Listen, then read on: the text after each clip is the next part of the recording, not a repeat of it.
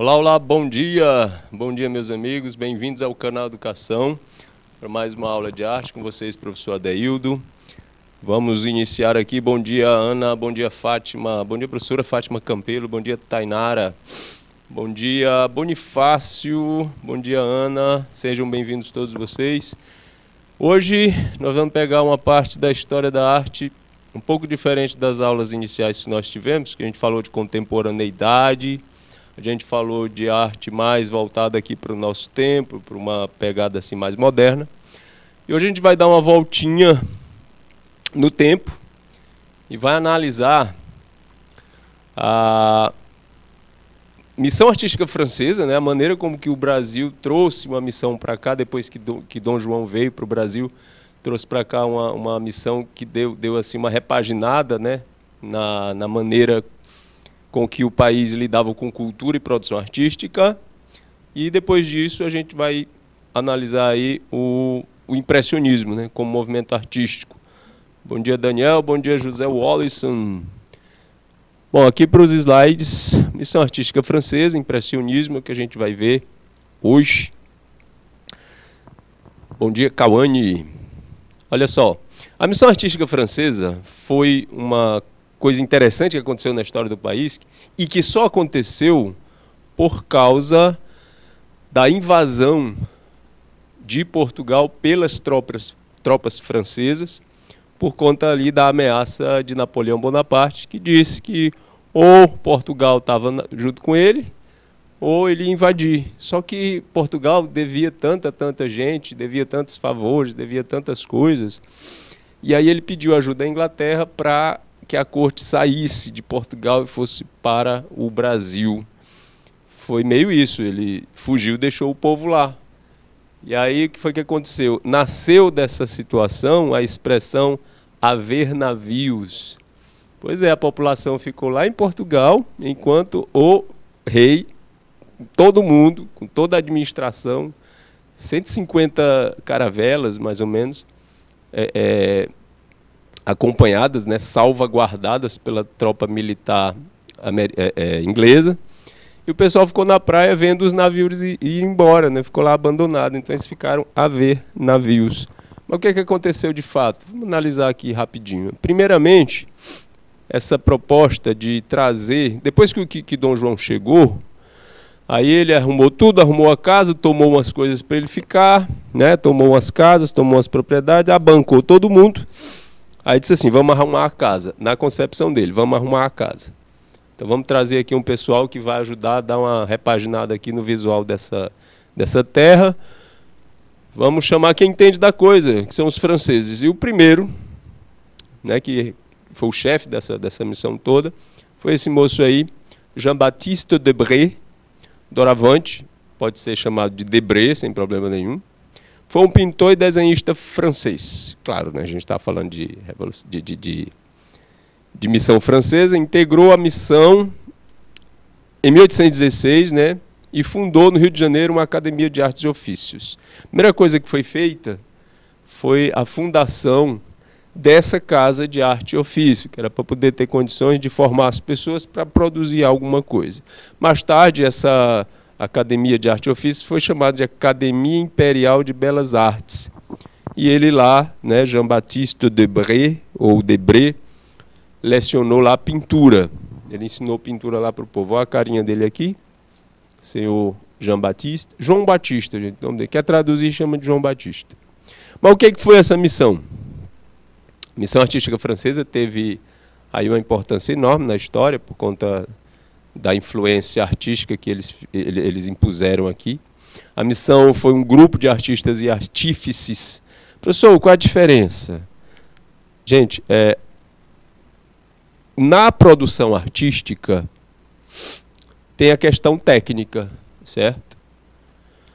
Qual a diferença entre arte e artesanato? Está na questão da originalidade e na maneira da obra de arte ser uma coisa única no artesanato, a criação acontece, mas no momento que o artesão multiplica aquilo ali, ele faz uma, faz duas, três vezes igual a mesma coisa para vender, aí ele já perde a originalidade, já não é mais chamado de obra de arte, é chamado de artesanato.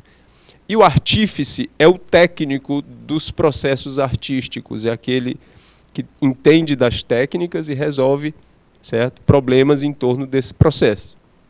Eles também são artistas, mas eles são muito voltados a uma questão técnica do que a uma questão puramente de criação certo, e estética.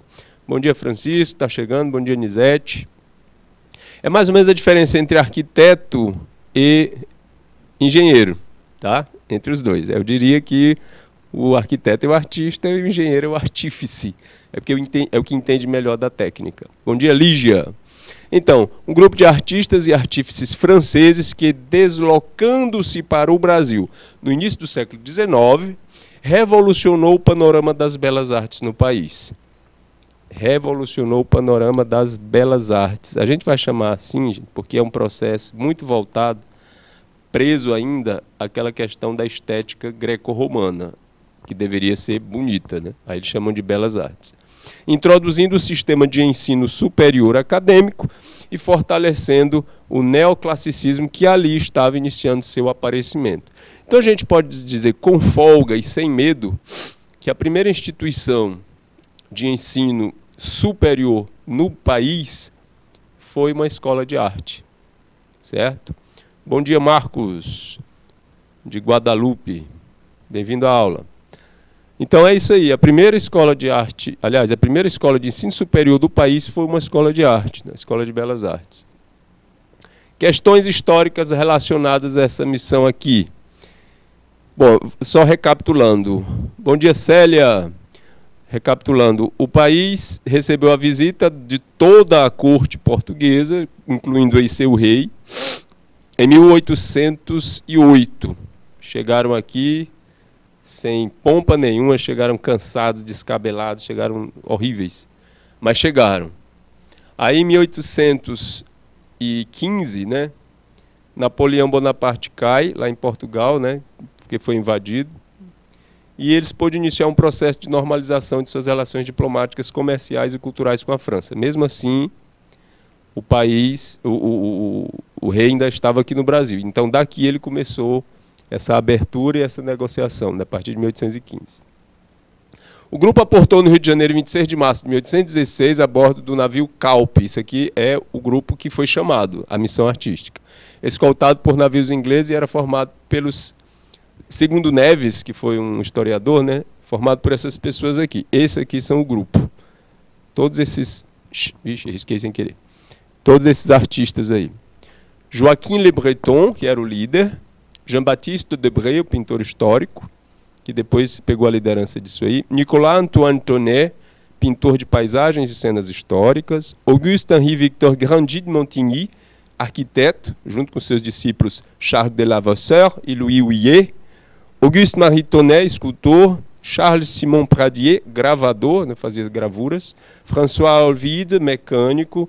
Jean-Baptiste Leve, ferreiro. Nicolas Maglior Renou, serralheiro Peraí, ferreiro e serralheiro. A diferença é que está um que faz e o outro que trabalha com o, o material. Pelite e Fabre, que são peleteiros. Louis Jean Roy e seu filho Hippolyte, carpinteiros. François Bonrepos, auxiliar de escultura. E Félix Tonet, filho de Nicolas Antoine Tonet aqui. Apenas um jovem ainda, né, um jovem aprendiz. Muitos deles trouxeram suas famílias, criados e outros auxiliares. Então não foi qualquer dois, qualquer três. Né? Eles trouxeram uma trupe bem preparada para fazer aí essa repaginada na cara brasileira, da cultura brasileira. Na verdade, foi. Eles deveriam ter aproveitado o que já tinha aqui. Bom dia, Vanessa. Bom dia, Érica. Bom dia, Lara. Bom dia, Célia. Mas não, a visão era eurocêntrica, né?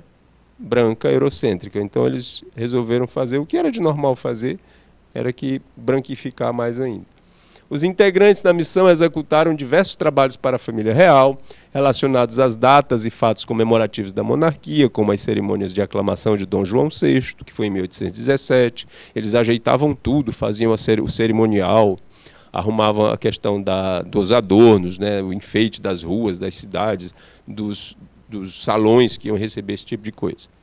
As cerimônias comemorativas da vinda da futura imperatriz Leopoldina também foram organizadas por eles.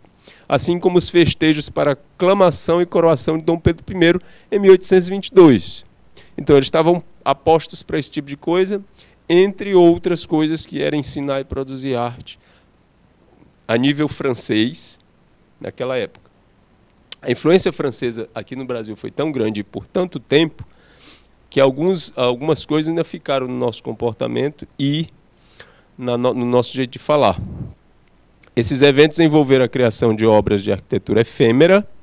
Obras de arquitetura efêmera são aquelas que duram pouco, ou seja, você vai construir um arco do triunfo, né?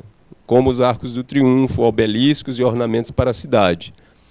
Esse tipo de coisa é, é, é, é para festejo, é para durar pouco. Então, chamado de obra arquitetura efêmera. Também deixaram uma importante série de retratos oficiais de personalidades e membros da nobreza e registros variados da vida na corte e na cidade. Então, por que, que era importante ter esse povo aí trabalhando para eles?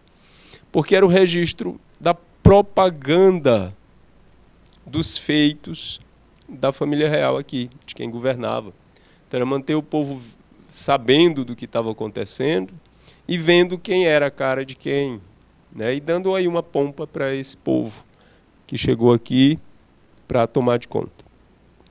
Ah, então, o Debré fazia também registros do cotidiano. Aliás, se não fosse Jean-Baptiste Debré naquela época, a gente não teria, com certeza, tantos registros do cotidiano da vida dos brasileiros nas cidades de Salvador e do Rio de Janeiro, como a gente tem. O Jean-Baptiste fez um sem número de gravuras e de pinturas retratando o dia a dia né, da, das pessoas, dos ricos, dos escravos, da, da sociedade daquela época. Então, isso é considerado muito importante para o registro histórico, com certeza. Aqui, Negros de Carro, de 1834, né, os escravos levando materiais aí de um lado para o outro numa, numa pequena carroça.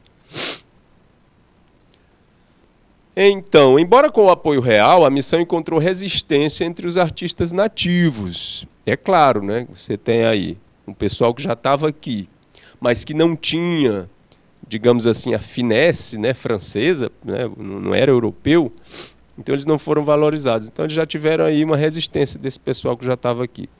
E, e, eles ainda eram seguidores do barroco. Né? Nessa época, 1816, o barroco no Brasil ainda era muito forte. Então a gente tinha o que ainda tinha reminiscentes do Aleijadinho, né? do, do, do mestre, dos mestres pintores daquela daquela expressividade.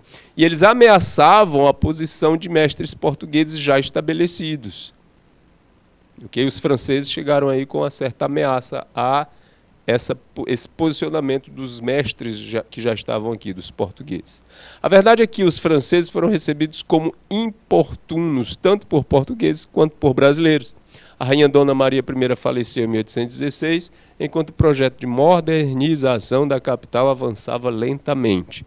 Esse processo de modernização do Rio de Janeiro passava também pela mão de arquitetos portugueses, arquitetos daqui mesmo do Brasil, que foram foi tomado a cabo pela, pela, pela missão francesa. Bom dia, Cleorane. Cleorane Silva, seja bem-vinda. Debré, cujo ateliê se encontrava no bairro do Catumbi, foi o que teve maior êxito ao registrar os usos e costumes do país, como eu falei antes. As tradições, anacrônicas né, da corte portuguesa, como, por exemplo, o beijamão. Aqui tem duas figuras de, de, de, de, coisas cotidianas do dia a dia do, do, do, brasileiro, né, dos trabalhadores, mas aquela coisa também do beijamão, que era um, um, uma, uma, cerimônia que, o, que os, os súditos do, de Dom João tinham que chegar lá no, no salão onde ele estava, no, do, do trono, para beijar-lhe a mão. Na verdade, era mais uma questão de puxa-saquismo, porque eles queriam favores, aí era uma troca de favores acerca disso, e o Debré também registrou. Aqui, um senhor saindo de sua casa, muito provavelmente para a missa, levando as filhas, a, a, a sua senhora, as aias e as mucambas e os escravos. Aqui, escravos vendendo caju, e galinha, né, e outras frutas e verduras, também feito por Jean Batista. O mais interessante da obra do, do, do Debré é a naturalidade que ele dá para o traço e para o registro, para a pintura, né, tornando uma coisa clara e compreensiva, fácil de ler. O livro ilustrado A Viagem Pitoresca e Histórica ao Brasil foi elaborado a partir da experiência de Debré em 15 anos de, residência no Brasil, desde sua chegada em 1816, como professor de pintura histórica da missão artística francesa, tendo sido esta contratada pelo príncipe regente Dom João para fundar a Escola de Artes, Ciências e Ofícios do Rio de Janeiro. O empenho de Debré na constituição da futura Academia Imperial de Belas Artes é um dos fatores que lhe garante um lugar de destaque na história da arte brasileira do século XIX. Essa figura do Jean Baptiste, aí está em inglês, né, a Brazilian Family em Rio de Janeiro, uma família brasileira no Rio de Janeiro, demonstra, demonstra bastante né, como se vivia, os portugueses viviam naquela época aqui. E essa figura é encontrada facilmente em tudo quanto é livro de história, certo? Os, os servos, né, os escravos, servindo os senhores na sua casa. Então fica aí a importância do Debré na constituição histórica da arte do país. Ele formou a primeira geração de pintores brasileiros com treino acadêmico. Isso é importante frisar, porque antes a coisa era meio no tentativa e erro, inspiração que vinha de fora e aí a, a, a, imitação dessa técnica e tudo mais. A formação acadêmica mesmo, a formação superior em pintura, veio com o, o Debré, certo? E no Brasil instituiu a rotina e a prática de ensino em ateliê, mesmo antes da inauguração da academia. Foi também o idealizador das duas primeiras exposições de arte realizadas no Rio, respectivamente em 1829 em 1830. Mas para que serve, professor, essas exposições de arte? É só para mostrar o que o artista fez, para subir o ego dele, para as pessoas comprarem. Essas exposições elas são importantes desde que elas começaram né, nos salões franceses em 1766, se eu não me engano, e era para mostrar para a comunidade o que, que era produzido dentro dessas aulas certo? Até hoje a gente faz isso. Estou em aula, em sala de aula, numa prática com meus alunos, seja em oitavo ano, seja em segundo ano do ensino médio, e a gente faz alguma coisa prática, a gente precisa com que a turma mostre o seu trabalho. E aí a gente faz pequenas exposições no meio do ano ou no fim do ano, para que essas práticas sejam reconhecidas pela comunidade escolar. Bom dia, Jonathan. Tudo bem? Principais características do estilo artístico do Debré. É considerado um artista cujas obras se enquadram no estilo romântico. A gente tem que né, balizar isso aí.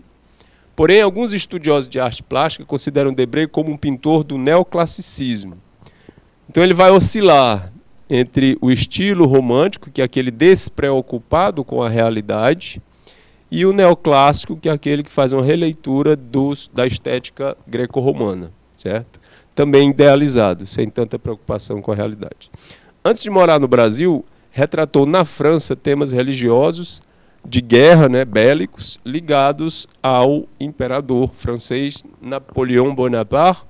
Napoleão Bonaparte. Suas obras no Brasil mostram paisagens, cenas cotidianas, e ele fez demais isso aqui, é muito registro cotidiano, a cultura e o povo brasileiro. E quando a gente fala o povo brasileiro, é porque o foco dele foi realmente nas pessoas, os índios, os, os negros trabalhadores, né, os escravos. E ele retratou a, a, elite, mas muito pouquinho nessa questão do cotidiano. Ele foi mesmo atrás de quem estava na rua trabalhando, quem, é, de quem de quem estava produzindo, né? Então, com cores vivas, como eu falei, né, a leitura do, do, das obras dele são muito fáceis de compreender e, e, e fáceis de ler, né, porque elas são claras, iluminadas e com cores vivas, né?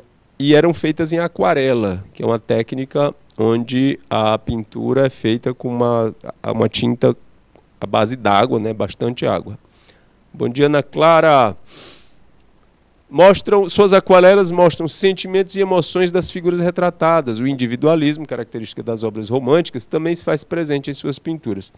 Detalhista, buscou retratar com o olhar de um viajante todos os aspectos das cenas vividas e as regiões visitadas. As imagens de Debré são de extrema importância para o estudo da história brasileira. Então, não tem quem não faça uma pesquisa sobre a história do Brasil que não passe pelas obras do Debré, porque são fonte imagética fidedigna. Ele não inventava muito, ele via e pintava. Quando eu digo que ele não tinha muita relação com a realidade, eu quero dizer que ele não fazia umas obras que faziam levantamento de, de, de crítica política ou de crítica é, econômica e tudo mais. Ele simplesmente retratava, sem essa preocupação. Bom dia, Luísa. Certo? Então, as imagens dele revelam o cotidiano do Brasil visitado pelos artistas franceses. Aqui um, uma cena de um açoite, não é? no Pelourinho, de escravos que estavam sendo castigados por, por algum motivo, né? e o que não faltava era motivo. Bom, só retomando aqui a questão do, do da missão artística francesa. O Brasil estava ainda vivendo uma situação meio solto, né, com Portugal lá na dele, só cobrando os impostos, o brasileiro produzindo aqui, mandando para lá, para o Brasil, ouro, cana-de-açúcar, né, açúcar. E aí Bonaparte invade Portugal. Antes de invadir, o Dom João já tinha picado a mula, né, ou a caravela há muito tempo. Que, que acontece? chega aqui e ele precisa de uma atmosfera europeia. Transformar onde eles eles ficaram em Salvador um tempo, depois eles desceram para o Rio de Janeiro. Aí por conta disso, Rio de Janeiro passou a ser a capital né, da, da colônia. Para a transformação social, cultural, depois de 1815, quando ele conseguiu né, reaver as condições de negociação né, diplomática e econômica com os outros países, principalmente com a França, que era quem tinha é, invadido Portugal, eles conseguiram mandar para cá um grupo de artistas, artífices e, e, e técnicos para lidar com a tarefa difícil de dar uma cara nova, de uma cara europeia para o Rio de Janeiro, né, e acompanhar a família real nessa tarefa. E aí foi chamado um grupo que foi conhecido como Missão Artística Francesa, que trabalhou nesse processo, que instituiu aqui a primeira escola de arte superior, né, de ensino superior nesse, nesses parâmetros, e ensinou as pessoas a é, pintar, esculpir e compor a europeia. Ah, mas já não tinha os portugueses aqui? Que faziam isso, os mestres portugueses. Ah, mas já não tinha os outros mestres daqui também, que eram brasileiros? Tinha sim. A questão é que estava acontecendo uma renovação. Quando o barroco chegou no Brasil, que fez sucesso aqui, ele já não era moda no, na Europa há mais de 100 anos. Então aqui era considerado uma coisa meio atrasada. Aí essa renovação veio com esse neoclássico, né, com essa visão romântica e o neoclássico que estava se instituindo. Lembrando bem, gente, em 1816, quando chegou a missão artística francesa aqui, é, a nossa cidade aqui, a, a, capital do Piauí, ela tava, já estava em planos de implementar a capital, a primeira capital, a primeira cidade projetada no Brasil para ser capital foi Teresina, né? Então, anos depois, 1816 para 1852, não é muito tempo, é, Teresina foi fundada como capital da província do Piauí e toda com esse, já com esse estilo neoclássico, né, eclético, com releitura, muita, muita releitura do que já estava sendo feito no Rio de Janeiro de, desde 1816. Então a gente observa aí a importância dessa influência francesa. Aliás, Teresina é considerada uma cidade, foi por muito tempo considerada uma cidade que queria se parecer cada vez mais com a capital francesa. Acreditem, com Paris. Nós temos uma, nós temos uma, uma avenida aqui, a principal, que é a Avenida Frei Serafim, que é, acredite, inspirada na Champs-Élysées. Ela foi construída, né, inspirada na Champs-Élysées de Paris. Aí você olha e diz assim, é mesmo que é mesmo que tá vendo, é igualzinho. Enfim. então, o que é que acontece? Muitas coisas que eram, que eram consumidas aqui em Teresina vinham direto da França, mas direto mesmo. Chegava no, no antes de chegar no porto do, de, de, de, de Recife, certo? Já um outra, uma outra embarcação já vinha pela, pelo delta do Parnaíba, entrava no, no rio Parnaíba e vinha direto para Teresina. Então, porcelana, roupa, uh, livros, certo? Muita coisa vinha para Teresina. Se falou francês extraoficialmente em Teresina durante muito tempo. As escolas de Teresina ensinaram francês até meados da década de 90. Tinha escola que tinha essa, essa disciplina né, no seu currículo normal. Né? O colégio, colégio o, o Liceu Piauiense, né, tinha aula de francês até metade da década de 80. E a gente tem, inclusive, influências no nome de bairros. Né? O Mafuá é um bairro aqui em Teresina que tem uma história em torno do seu nome que tem a ver com um certo francês que morou lá, naquela região, entre outras coisas que a gente usa e faz aqui em Teresina que tem essa tradição afrancesada. Enfim, o processo não atingiu apenas Teresina, a cidade de Teresina, mas também porque ela era uma capital que estava começando naquele tempo, então todos, todas as inovações estéticas estavam vindo para cá, mas também outras cidades, né? Belo Horizonte e, e, Goiânia, que também são cidades projetadas, né? receberam de certa forma alguma influência estética dessa missão artística que ficou com a gente até 1839 mais ou menos, ok? Finalzinho do século XIX, início do século XX, ainda foi muito punjante. Outra coisa interessante é o modo de cozinhar, né, que ficou com, com o povo, ficou com a gente por causa do povo francês. Como se visitavam a França, muitos ricos, eles voltavam, eles queriam, por exemplo, comer um pão parecido com o que se fazia na França. Então eles relatavam para os escravos, para os cozinheiros, como é que esse pão era feito. E aqui se criou um pãozinho, que a gente chama aqui de pão massa grossa, que é chamado de pão francês por causa disso. Em, em algumas regiões do país, esse, esse pão é chamado de pão francês. Aqui a gente chama de pão massa grossa, há quem, há quem chame de pão de sal, lá no sul chamam de cacetinho. Mas é, ele é um pão de origem brasileira, mas que tem influência dessa coisa afrancesada, dessa coisa, dessa vontade que o brasileiro tinha de ser francês. Eu não sei porquê, mas ainda ficou, certo? Então, a, a questão da, da missão artística francesa a gente aborda até aqui, certo? Nós vamos falar também, já já, de uma influência de uma escola artística que tem muito de francês também, porque aconteceu na França. Aliás, todas as grandes mudanças, todas as grandes escolas é, de, de, de, renovação estética aconteceram, né, de vanguarda aconteceram na França, muitas delas, historicamente. E a gente sempre vai estar aqui tendo essa referência né, da França como produtora de escolas diferenciadas. O Brasil vai receber também o impressionismo, mas isso é uma coisa para uma outra aula. A gente vai analisar apenas o que aconteceu, como aconteceu, por que aconteceu, de que maneira isso afetou a produção artística de toda a, a de tudo que foi feito depois disso, né, até hoje, e por que que se chamava impressionismo. Tá certo? Bom, antes de começar, temos que analisar certas questões. O impressionismo só nasceu porque houveram aqui transformações por causa da revolução industrial que mudaram a maneira de retratar e de produzir imagem. Primeira coisa, a invenção da fotografia, que culminou na primeira fotografia que se tem registro, que é a do senhor Nicephore Niepce, que fez a sua imagem lá do, do, do, quarto, da janela do quarto dele, foi a primeira fotografia realmente de sucesso. Quando eu digo de sucesso, o sucesso da técnica, certo? Que demorou oito horas para ser capturada a imagem. Depois veio o Monsieur Daguerre e fez o seu daguerreótipo, que tirou, é, é, é, diminuiu esse tempo para de 8 horas para 30 minutos de, de, de exposição.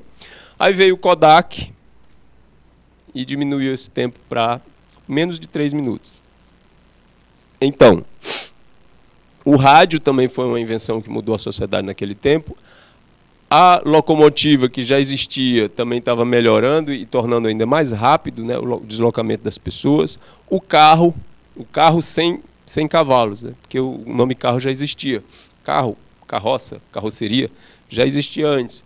O autocarro, que ainda hoje é, é chamado assim em Portugal, ou o carro automóvel, aquele que se move sozinho, também foi uma invenção que deu uma repaginada na, na, na, na maneira como os artistas viam e retratavam o mundo, certo? Vamos entrar em detalhes já já. Um minutinho de pausa. A gente volta em um minuto. Em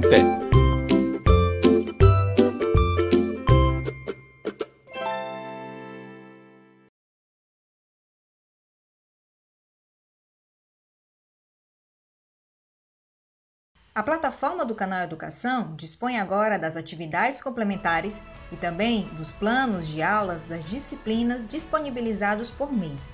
Para ter acesso às atividades complementares, entre em www.canaleducação.tv. Em seguida, clique em Acesso Aulas. Escolha a modalidade e, por fim, a atividade complementar. Para acessar os planos de aulas por disciplina, você deve clicar em Materiais Pedagógicos e depois no link correspondente. Pronto! Agora você terá todos os arquivos por onde estiver.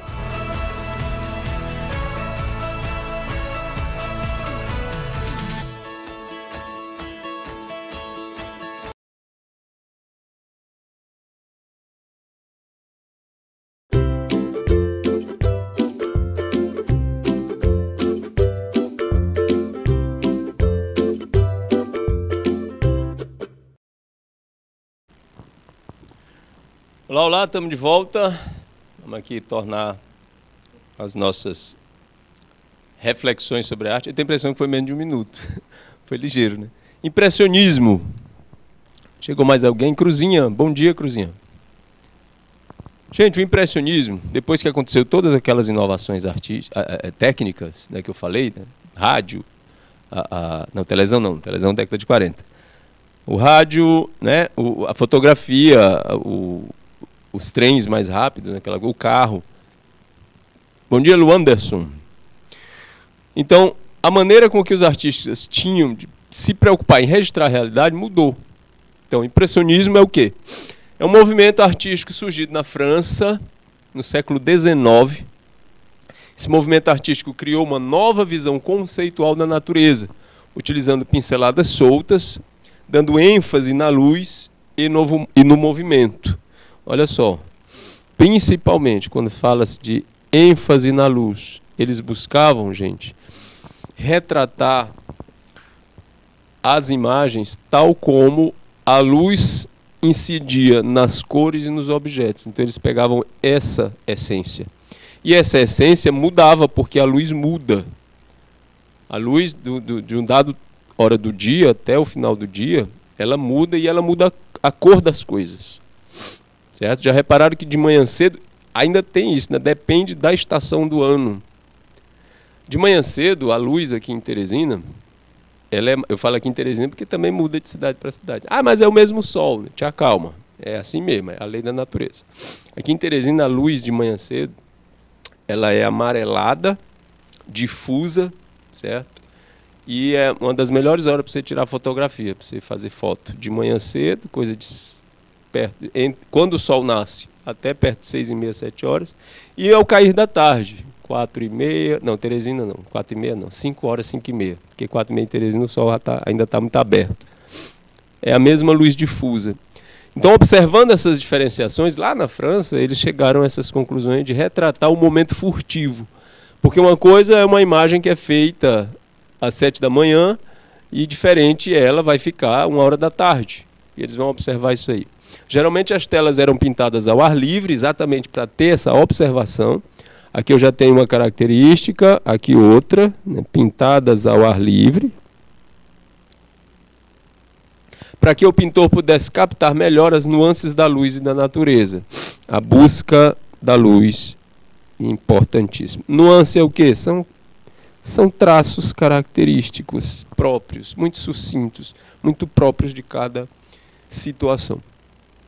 Aqui o quadro de Van Gogh, A Vinha Vermelha, de 1888.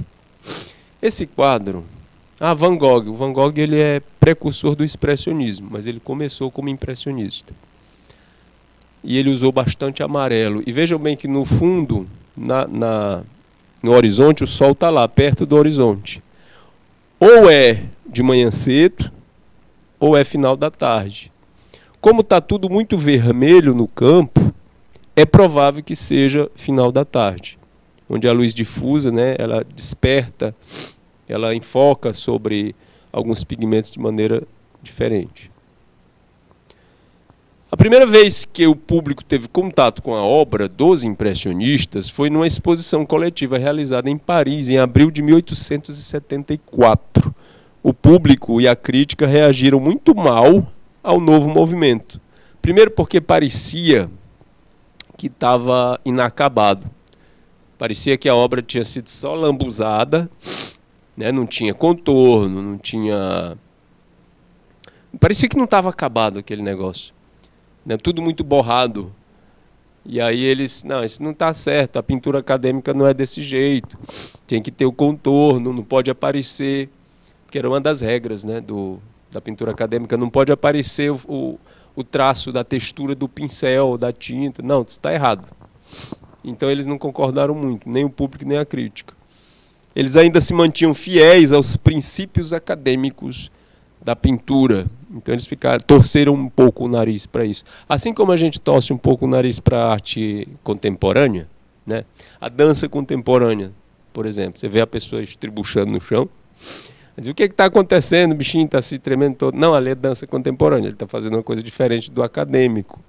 A gente não entende ainda direito, fica né, meio. leva o susto.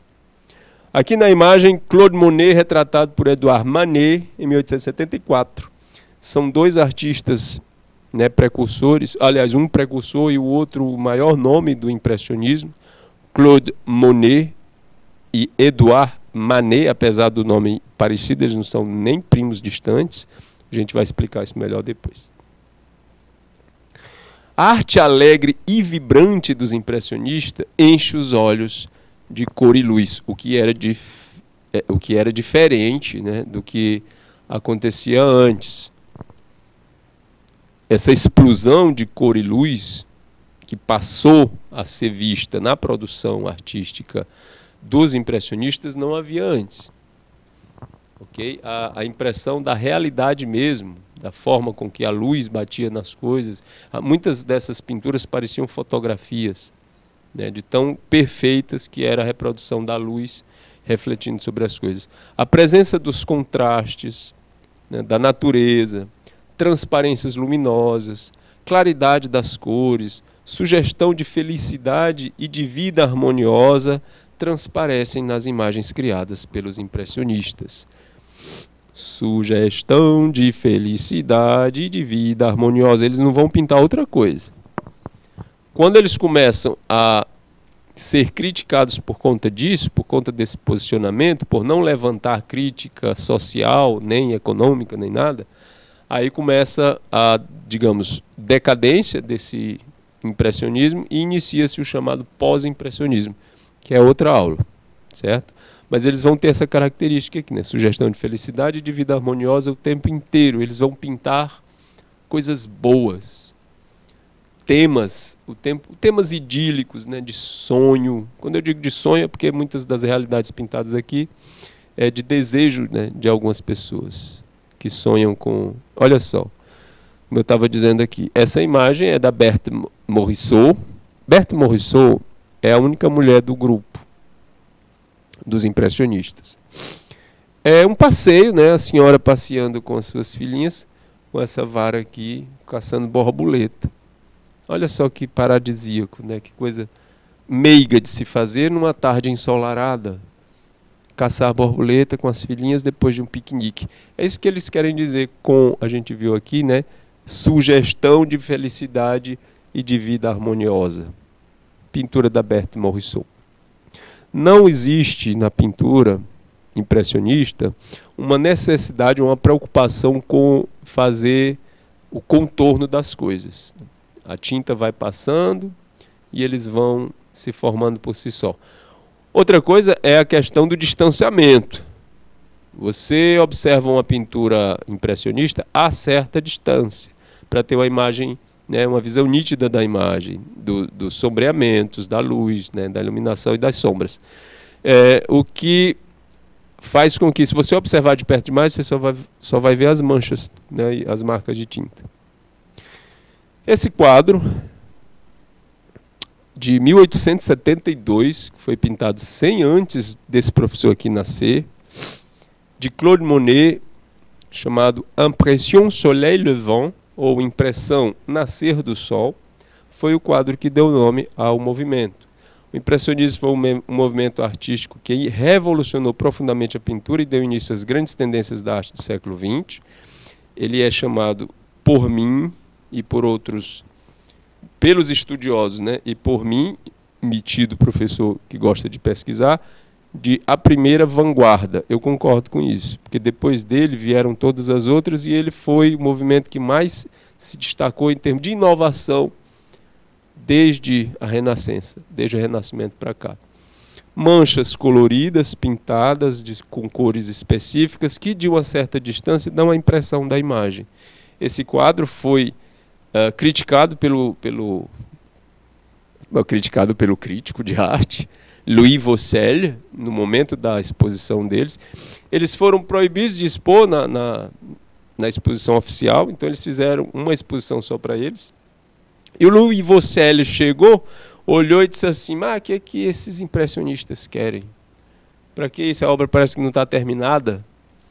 E aí o nome pegou. O grupo acabou pegando esse nome para eles, como impressionistas. Então a gente observa a certa distância a água, os, as nuances de cor diferentes, diferentes na água, o brilho do sol nessa água, né, nesse amanhecer avermelhado. A, a atmosfera, né, meio nebulosa dessa dessa localidade aí na França.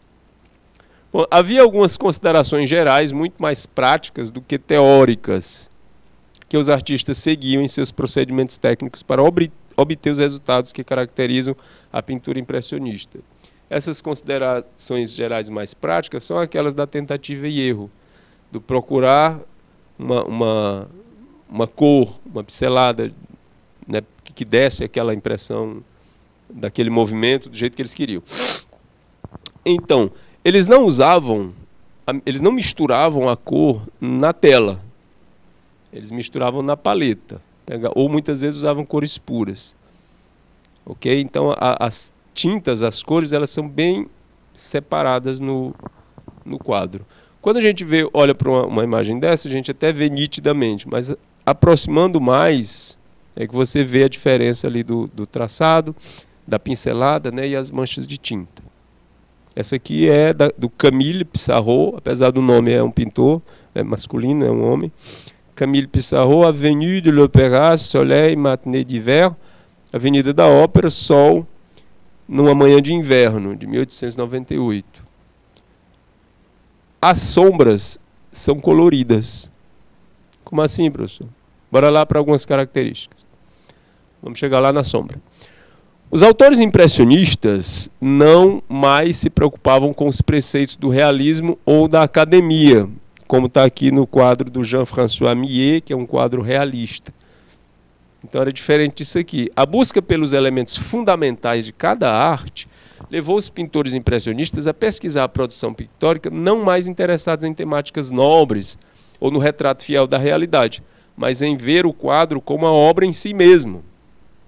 O que é uma busca diferente desse material aqui. Aqui outro quadro é, impress... impressionista, não, realista, né? o encontro, ou Bonjour Monsieur Courbet, do Courbet, Gustave Courbet, Principais características da pintura impressionista. A pintura deve registrar as tonalidades. Desculpa, gente.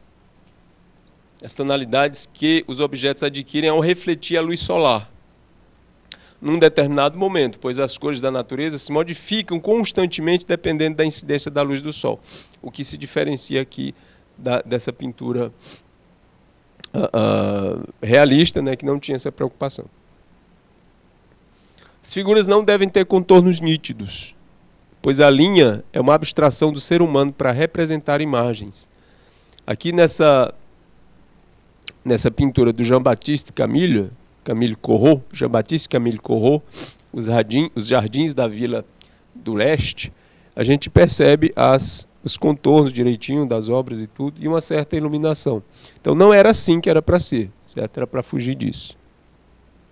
As sombras devem ser luminosas e coloridas, tal como é a impressão visual que nos causam, e não escuras ou pretas, como os pintores costumavam representá-la no passado, como a gente vê aqui, né, sombras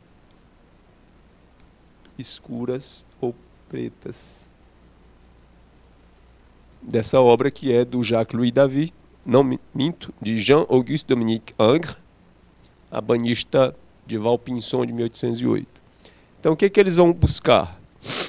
Os contrastes de luz e sombra devem ser obtidos de acordo com a lei das cores complementares. Professor, como assim? O que é, que é uma cor complementar? Pegar o círculo cromático, que, que você tem as cores primárias, né? Amarelo, azul, vermelho, certo? Amarelo com vermelho, laranja, amarelo com azul, verde, azul com vermelho, roxo. Então, cor complementar é aquela que está na frente da outra no círculo cromático, certo? Então, para fazer essa coisa das sombras do, e, e do, dos contrastes de luz, eles obedeciam essa característica das cores complementares no círculo cromático. Então, muitas vezes, uma pintura de, de, que tinha uma tonalidade amarela, ela tinha a sua sombra ou o seu contraste em roxo, que é a sua cor complementar. Isso dava uma naturalidade maior, o que não é o caso aqui. Aqui é uma demonstração de uma pintura romântica, do, né, romântico-realista do Eugène Delacroix, cavalaria árabe fazendo uma invertida. Isso aqui não era coisa que ficasse, que, que, que tinha uma aparência muito próxima do real né, na pintura. As cores e tonalidades não devem ser obtidas pela mistura das tintas na paleta do pintor. Pelo contrário, elas devem ser puras e dissociadas nos quadros em pequenas pinceladas. Em vez de misturar a tinta, no quadro, né, eles deixavam elas as cores soltas no quadro, aproximadas, para dar essa essa característica de naturalidade. E aí, depois da cruzinha, não dei bom dia para o Anderson. A Tainara já tinha falado. Islara, Islara, isso. Bom dia, Islara. Bom dia, Eric. Ana Clara, Maria Clara, tudo bem? Então, aqui a gente tem uma proposta que é um pós-impressionismo. Isso aqui veio depois, Jorge Serra, as modelos, isso aqui é pontilismo. Isso aqui vai.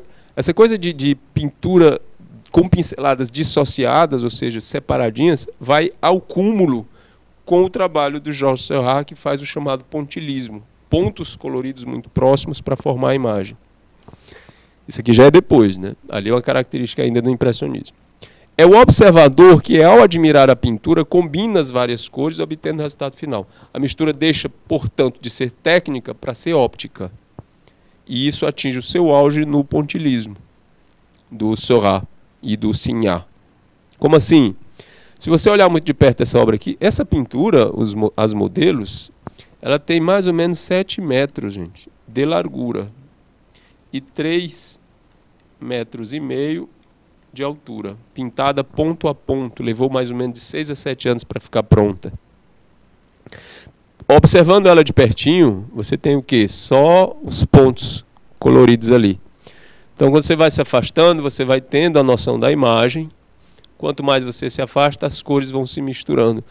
Onde você vê verde, grandes áreas verdes, vai ter muito mais azu pontos azuis e amarelos juntos do que o verde mesmo. Então a mistura passa a ser óptica. Por quê? Porque ela deixa de ser da tela e passa para o teu olho, para dentro do teu olho. Isso é uma característica né, extrema dessa técnica de pinceladas separadas. Demorava muito tempo para fazer, demorava sim, ó, faz sete anos, seis, sete anos para uma pintura dessa. E as outras? As outras eram rápidas. O impression... Aqui a gente está falando de pontilismo, é uma coisa já de, de, de pós-impressionismo. Mas as pinturas impressionistas, elas precisavam ter a sua pincelada lá do jeito que está aqui, só que muito rápido. Por quê? Hoje eu estava observando uma, uma imagem né, para pintar uma certa hora do dia aquela luz é daquele jeito por um certo tempo, então tem que aproveitar o tempo que está lá. Aí a pincelada vai ser muito rápida para conseguir terminar o quadro. Não terminou, o artista espera o outro dia com as mesmas na mesma hora, né, com as mesmas condições de luminosidade para ele terminar a obra como ele começou. A, a observação dele. Geralmente não levava para o estúdio. É muito raro ele terminar isso em estúdio. Então, ações que caracterizam os impressionistas: romper completamente com o passado, fazer pesquisas sobre a óptica, né, as ilusões, ser contra a cultura tradicional, né, pertencer, aí é onde mora a questão da vanguarda. Pertencer a um grupo individualizado, como assim? um grupo que por si só né, tem suas características únicas e não não não é, confabulam com outros grupos né, de de propostas diferentes. Falar de arte, sociedade, etc., não concordar com as mesmas coisas, porém discordar do mesmo. Eita. Pintar para o exterior, que com a evolução da indústria proporciona telas com mais formatos, com mais formatos, né, tubos com tintas, entre outras coisas. Como assim? Pintar para o exterior. E lá fora, né, pintura ao ar livre. Isso só foi possível depois que a indústria começou a, a fazer telas de tamanho diferentes, menores e mais leves, e os tubos de tinta, ou seja, as bisnagas de chumbo que eram feitas para colocar as tintas, elas foram um invento interessante porque facilitou né, o manuseio das tintas para lá e para cá.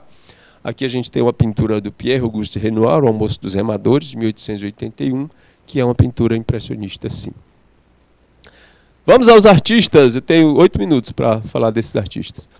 Os principais, Claude Monet, incessante pesquisador da luz e seus efeitos, pintou vários motivos em diversas horas do dia, a fim de estudar as mutações coloridas do ambiente com sua luminosidade. Gente, essa história de a fim de estudar as mutações coloridas do ambiente, esse cara foi ao ponto de retratar a Catedral de Rouen, na França, em 32 composições diferentes, cada uma com uma luminosidade diferente, em diferentes horas do dia, em diferentes estações do ano. E ele conseguiu, através do seu olhar, retratar a mesma coisa com cores diferentes 32 vezes. Aí disse, ah, não tinha o que fazer não, professor. Tinha, ele era pintor, então ele pintava, né? Tava lá trabalhando na dele. E ele ficou rico fazendo isso demais. Inclusive comprou uma propriedade chama, em um jardim chamado em Giverny, onde ele morreu pintando. Ele comprou para quê? Esse jardim comprou e mandou fazer um, um, um trabalho de paisagismo, ficou magnífico. Muita, muita da, da, das obras finais da vida dele são nesse jardim. Os nenúfares aquáticos, as, a ponte chinesa, tudo ele fez lá, com, com o dinheiro que ele conseguiu, sendo muito amado pelo público e vendendo bastante. Auguste Renoir foi o pintor impressionista que ganhou maior popularidade, chegando a ter o reconhecimento da crítica ainda em vida. Né? Olha só que feito. Seus quadros manifestam otimismo, alegria e a intensa movimentação da vida parisiense no final do século XIX. Ele fez muitos retratos. Aqui o retrato da Madame Henriot, de Renoir, que está nos Estados Unidos, essa obra. Olha o destaque. A cor daqui para cá é uma cor meio pastel, meio clarinha, não é? As sombras são, se misturam um pouco. Aí o que destaca a cor mais forte que ele usa nos olhos, né, no cabelo, destacando da luminosidade do rosto. Isso foi, um destaque, foi, foi uma característica do Renoir que ganhou bastante popularidade, principalmente pintando o rosto de criança. Que foi que ele fez ainda? Pintou o corpo feminino com formas puras e isentas de erotismo e sensualidade, preferia os nus ao ar livre, as composições com personagens do cotidiano, os retratos e as naturezas mortas. Aqui ele pinta o baile do Moulin de la Galette, que é uma festa, né, em 1876. Aí mostra aí a, o, o enorme talento. Muita gente, muita sombra, muitos focos de sombra e de luz, e ele consegue captar cada um pedacinho desse daí como, com naturalidade, como se fosse uma fotografia colorida da época. O nosso amigo Edgar Degas, que todos os meus alunos, todos, vou chamar de Degas, por causa da, da maneira que é escrito, Edgar Degas, sua formação acadêmica e sua admiração por Ingres, que é um pintor francês neoclássico, fizeram com que valorizasse o desenho e não apenas a cor, que era grande, a grande paixão do impressionismo. Ele era meio avesso de pintar ao ar livre, ele gostava mais de pintar no estúdio. Foi o único que fez isso, o único impressionista. Ele dizia que arte não era um esporte, para que, que ele ia para fora fazer isso? Né? Além disso, ele foi pintor de poucas paisagens e cenas ao ar livre. Os ambientes de seus quadros são interiores e a luz é artificial. Sua grande preocupação era flagrar um instante da vida das pessoas, aprender um momento do movimento de um corpo ou da expressão de um rosto. Adorava o teatro de bailados e ele acabou pintando bailarinas no treino. Ele nunca pintava as bailarinas na apresentação, eram sempre nos treinos pintou quadros e mais quadros de bailarinas, e ele também fez uma escultura né, chamada Jovem Bailarina de 14 anos, uma escultura de bronze. Para fazer para você poder fazer uma escultura de bronze, na técnica, você primeiro tem que fazer uma, um modelo em cera, certo? Da, da, do modelo em cera que você parte para a, a fundição né, do bronze. O modelo em cera é feito à mão, claro, pelo artista tirando da sua cabeça. Quando o, Degas foi fazer esse modelo em cera, ele já estava com um problema nas, na vista, ele já estava quase cego, né? não enxergava quase nada. Então ele fez essa escultura toda no tato. Depois a, a técnica, o, o, os, os auxiliares terminaram a técnica no bronze. Certo? E essa bailarina de 14 anos que ele pintou tem uma inovação em termos de, de de escultura, porque ela era de bronze, mas o saiote dela era de verdade, era de tecido, ok? Aí fica aí a grande referência vanguardista para a época. Edgar Degas.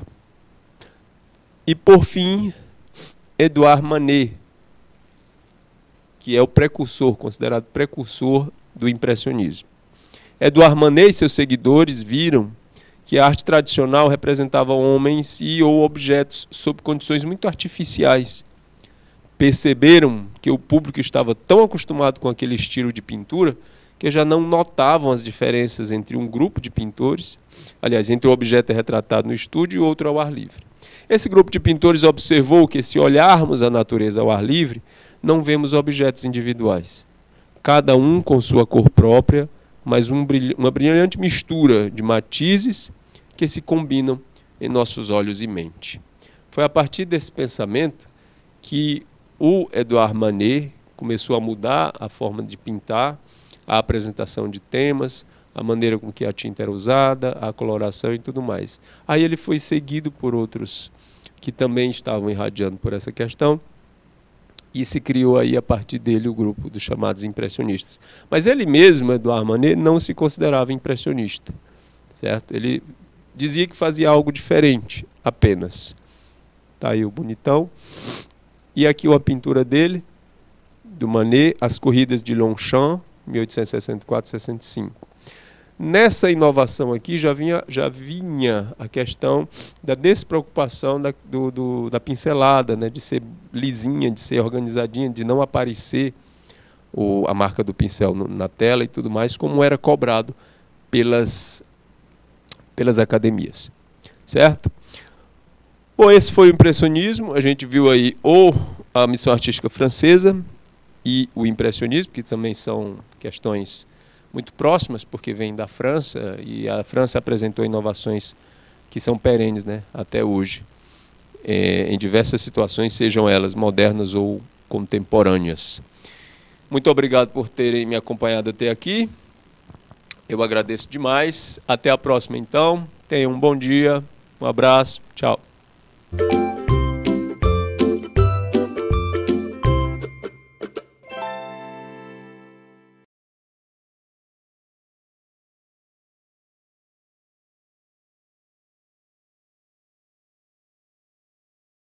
A plataforma do canal Educação dispõe agora das atividades complementares e também dos planos de aulas das disciplinas disponibilizados por mês.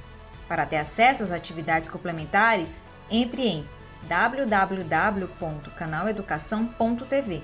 Em seguida, clique em Acesso Aulas. Escolha a modalidade e, por fim, a atividade complementar. Para acessar os planos de aulas por disciplina, você deve clicar em Materiais Pedagógicos e depois no link correspondente. Pronto! Agora você terá todos os arquivos por onde estiver.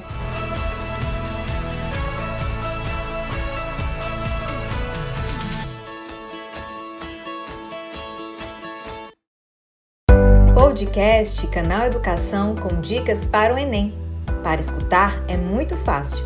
Abra seu aplicativo de streaming, clique em Buscar e escreva Canal Educação. Selecione a primeira opção. Você será direcionado a todo o conteúdo com dicas para o Enem de forma fácil e didática. Siga agora mesmo o podcast do canal Educação no Spotify, Deezer e iTunes. E não deixe de acompanhar as aulas remotas transmitidas pela Rede Estadual de Ensino do Piauí. Olá, pessoal, sejam bem-vindos ao podcast do canal Educação.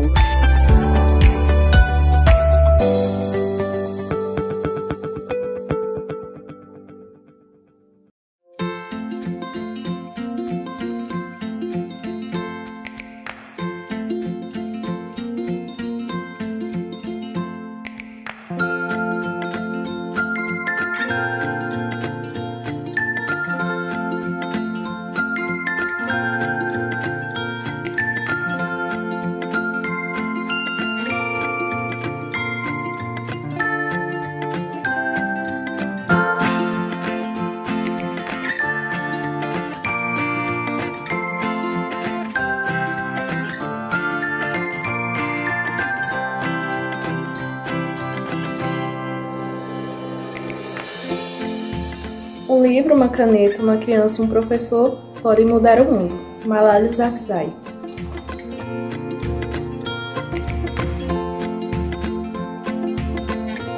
Bom dia, meus queridos estudantes, preparados para mais uma. Opa!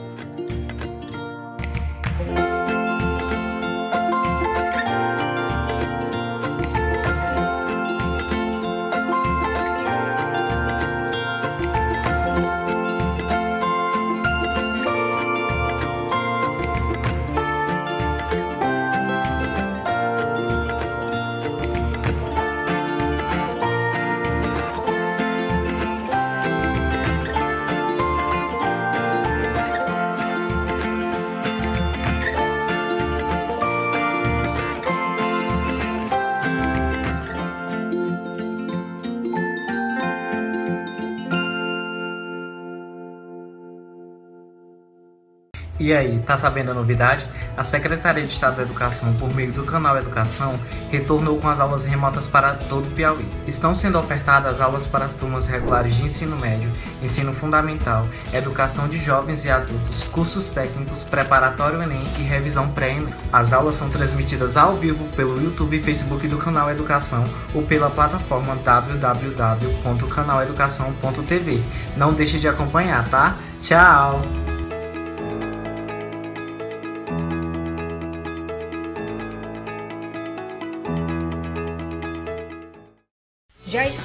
Disponível o primeiro lote dos certificados da Formação Continuada 2019-2020 para a implementação do currículo do Piauí. Para ter acesso ao certificado, digite o endereço eletrônico currículo do Piauí.canaleducação.tv login. Em seguida, informe seu CPF e a sua senha de acesso. Ao abrir, basta clicar em Certificado e imprimir. Não deixe de conferir. Em caso de dúvidas, entrar em contato pelo e-mail currículo.piauí@gmail.com.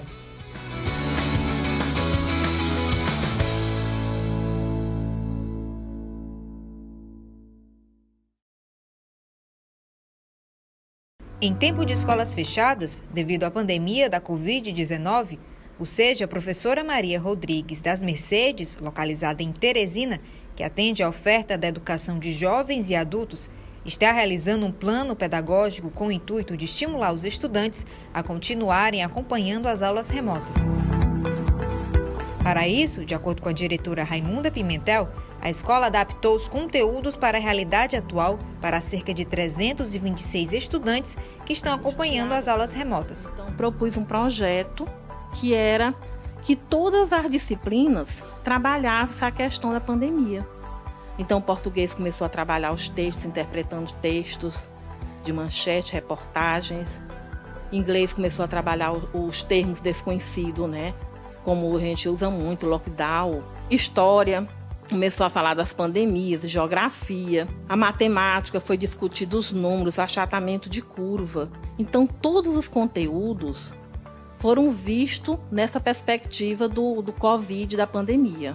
Use máscara, por favor, fique em casa. Não... A escola também desenvolveu uma gincana online no mês de junho, transmitida pelo canal Educação, mobilizando os alunos.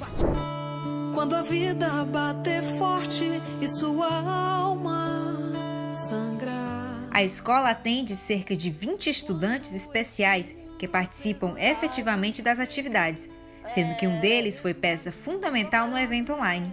Eu vou fazer uma abertura bonita para vocês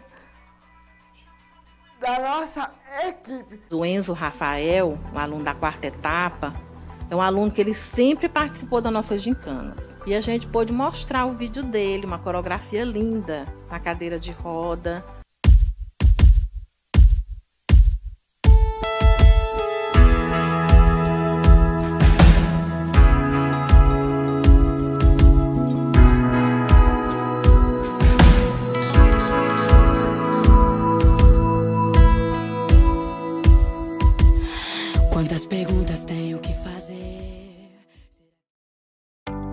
sabendo da novidade?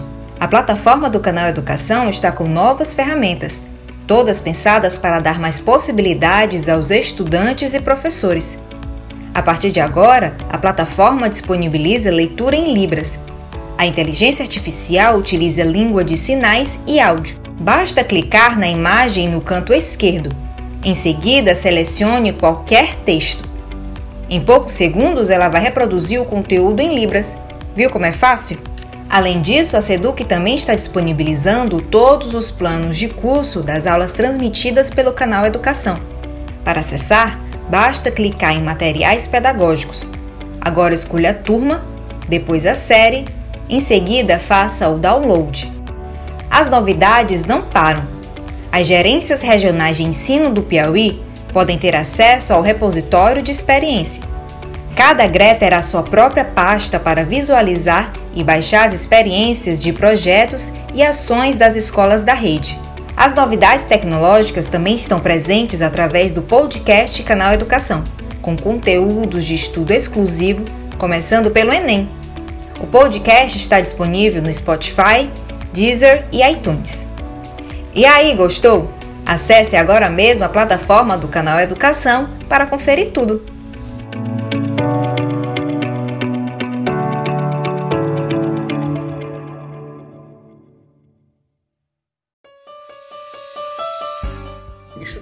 Português é muito importante para o seu dia a dia. Nós, que somos brasileiros, falamos a língua portuguesa, temos, no mínimo, a obrigação de conhecer a nossa língua, o nosso idioma.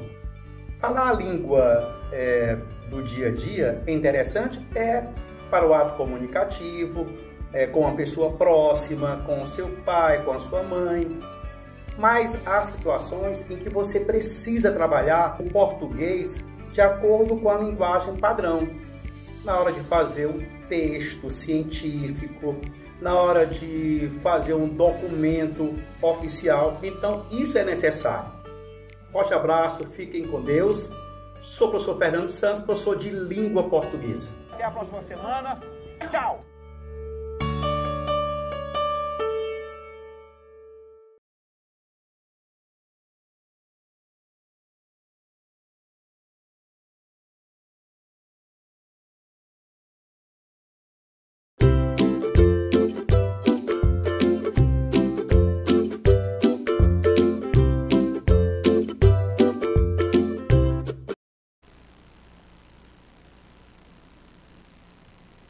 Agora sim, jovens! Bom dia, meus amigos! E aí, galerinha, show de bola? Opa, bom dia, Fátima! É verdade, Fátima, choveu em Teresina, meus amigos. É, choveu aqui em Teresina. Beleza, galerinha? Como é que estamos aí? Tranquilidade? Bom dia, meu povo! Como é que vocês estão? Participa comigo, vamos lá, gente. E aí, galera, como é que vocês estão aí? Lembrando, a gente está iniciando mais uma aula no canal Educação, meus amigos. É. Segunda série do ensino médio. Escola Carlos Franco online com a gente. Escola Severo Maria Eulário online com a gente. Aos vivos, jovens. Aos vivos. Bom dia, Fátima. Tudo bom? Galerinha, ó, tem a galera de Santa Cruz do Piauí, hein? Galera de Santa Cruz do Piauí online com a gente aqui, tá? Beleza? Tranquilo? Meus amigos, ó. Atenção. Atenção, presta atenção. A gente estava desenvolvendo o conteúdo de análise combinatória. Análise combinatória, professor. Sim, rapaz. PFC, princípio fundamental da contagem, né? Princípio da casa dos pombos. Que mais? Fatorial, permutação simples, permutação com repetição, permutação circular. E agora, jovens, atenção. Começamos o momento em que vamos atingir o auge do nosso conteúdo de análise combinatória. Arranjo, meus amigos. Olha aí, pai. Arranjo, jovens. É... Arranjo, meus amigos. Hoje vamos falar sobre arranjo. Como assim, professor? Arranjo. Arranjo, rapaz. Ó, acompanha comigo. Presta atenção. Deixa eu mostrar a situação para vocês. Presta atenção, acompanha comigo. Ó. Olha só. Peraí, me acessa a canetinha aqui. Beleza. Olha aí, ó. Arranjo, em nosso conteúdo, arranjo. É, pai, arranjo. Ó. Análise combinatória estuda dois tipos de agrupamentos: arranjos e combinações. Sendo que diferem em arranjos simples, combinações simples, né? Beleza. Olha a situação. Arranjos são agrupamentos nos quais, detalhe importante, hein? Vocês vão cansar de ouvir isso. A ordem dos seus elementos faz diferença. Vocês vão cansar de ouvir isso na minha aula. Pessoal, a ordem faz diferença? Se faz diferença, é arranjo. Se a ordem não faz diferença, é combinação. Vou logo adiantar para vocês. Vocês vão cansar de ouvir isso. Aí, olha só. Por exemplo, os números de três algarismos, ó, os números de três algarismos formados pelos elementos 1, 2 e 3. 1, 2 e 3, né? Eu só posso utilizar os algarismos 1, 2 e 3 para formar números com três algarismos. Por exemplo, 213, 321, né? Beleza? E aí segue, né? Ó, são números com três algarismos. Mas eu só posso utilizar o número 1, 2 e 3, no nosso exemplo aqui. Beleza? Então vamos lá, Jones. Olha. Quantos números eu posso formar com três algarismos? Aqui dá pra gente montar, né? Dá pra gente montar, não dá não? Beleza? Ou você teve alguma ideia? Qual foi a ideia que você teve? Você teve alguma ideia para calcular o tanto de números com três algarismos que eu posso fazer? Diz aí pra mim. A galera do 7 João Ferrer, lá de Agricolândia do Piauí, online com a gente. João Vitor. Francislane Alves. E aí, galerinha? Nesse exemplo aqui, ó. Os números de três algarismos formados pelos elementos 1, 2 e 3. Você teve alguma ideia? Você já pode utilizar algo que a gente já estudou aqui para responder isso aí. Quantos números de três algarismos você pode fazer usando os algarismos 1, 2 e 3? Diz aí para mim. Vamos lá, meu povo. Participa comigo. Let's go. Vamos lá. E aí, meu povo? Ó, vou botar alguns exemplos com números de três algarismos usando esses, né? Ó, um, dois e três. Opa! Francis Lane Alves. Como é que foi? Francis Lane Alves está me dizendo que são seis números. Professor, olha, você pode, você tem seis números de três algarismos usando, tá? o 1, 2 e 3, os algarismos 1, 2 e 3. O Eric Gabriel também está dizendo a mesma coisa. Meu povo, vocês montaram os seis números ou vocês fizeram alguma outra conta? Diz aí para mim. Oh, gostei da resposta do Eric Gabriel, hein? Eric Gabriel ainda mandou assim, não, professor, olha, é 3 fatorial. 3 fatorial, números de três algarismos. Oh, fela, rapaz, aí. Botei foi fé. Gostei, gostei, boa. Massa, gostei, gostei, me empolguei, me empolguei, me empolguei, gostei. E aí, meu povo, vocês fizeram, vocês montaram, foi, os, os seis números? Ou vocês fizeram alguma conta? Diz aí pra mim. Lembrando, né, que você está acompanhando nossa aula não só pela plataforma do YouTube, mas tem uma galera também acompanhando nossa aula pela TV Antares. Você que está acompanhando nossa aula pela TV Antares, seja muito bem-vindo. Beleza? Então, meus amigos, diz aí para mim. Ó, eu vou mostrar os seis números aqui, tá? Você fazendo, usando a tentativa, ó, você monta aqui os seis números, olha aí, ó. 312, 321, 132, 123, 213, 231. Tá aí os seis números, ó. Eu só usei os algarismos 1, 2 e 3 para montar, né, números com três algarismos. Ou você poderia ter feito assim. Não são números com três algarismos, não é? Vamos botar aqui em cima. Tá aí. Três algarismos. Você tem quantas opções para esse primeiro algarismo?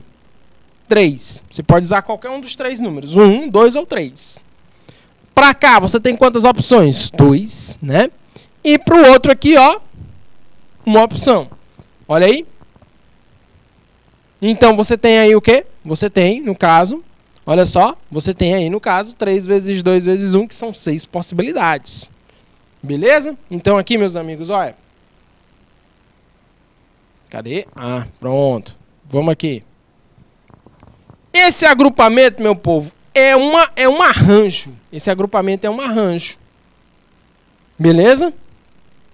Opa, Ricardo Andrade está dizendo assim, ó, tal situação representa um exemplo de arranjo simples de três elementos, tomados três a três mais especificamente falando, uma permutação simples de três elementos. Gostei, boa.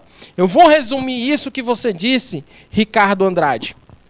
Mais à frente, tem um detalhe, né? Tem uma observação top que eu botei aqui no nosso material que eu vou resumir isso que você está me dizendo. Mas eu gostei, excelente participação. Ó, esse agrupamento é um arranjo, pois a ordem dos elementos 1, 2 e 3 diferem e é considerada simples, pois os elementos não se repetem.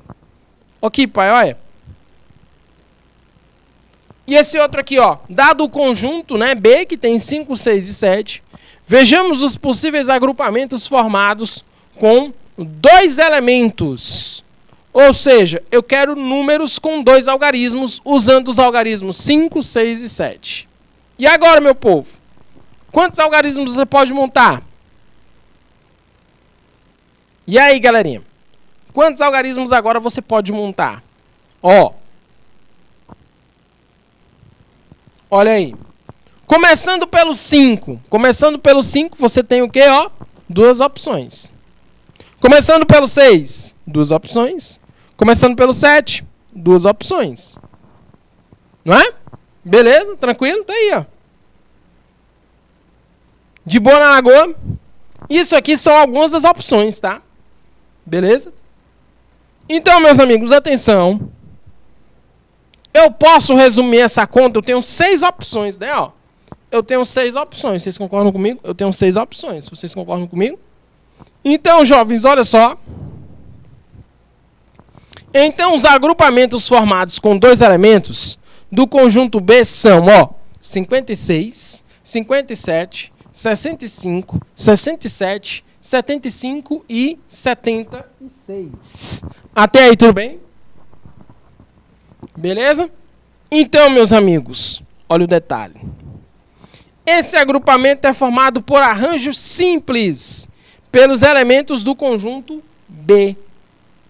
São arranjos simples formados pelos elementos do conjunto B.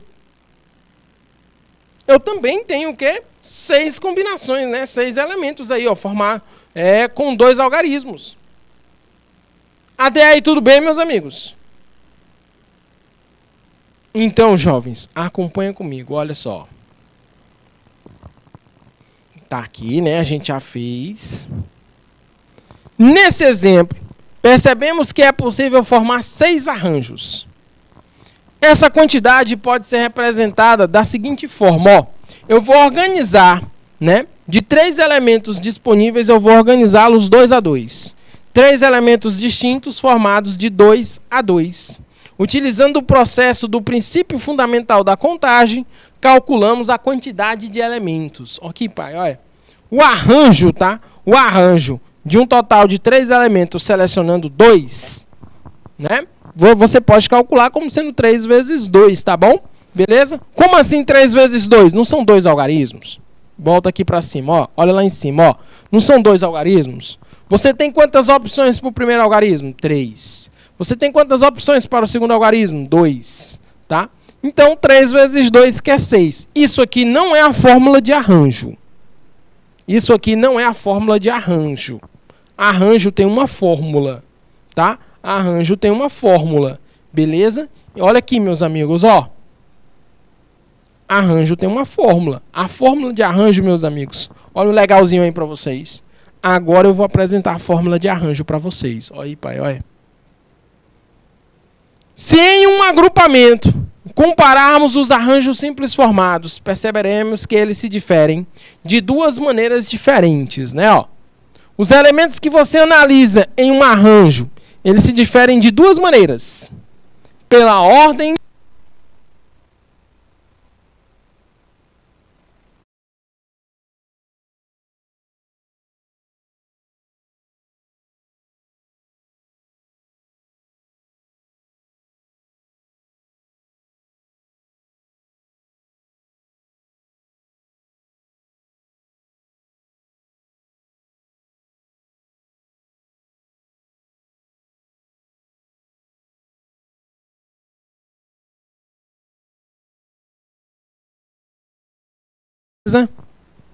Olha aí, pronto. Agora sim, voltamos. Beleza? Todo mundo ativo aí comigo, tranquilo, show de bola.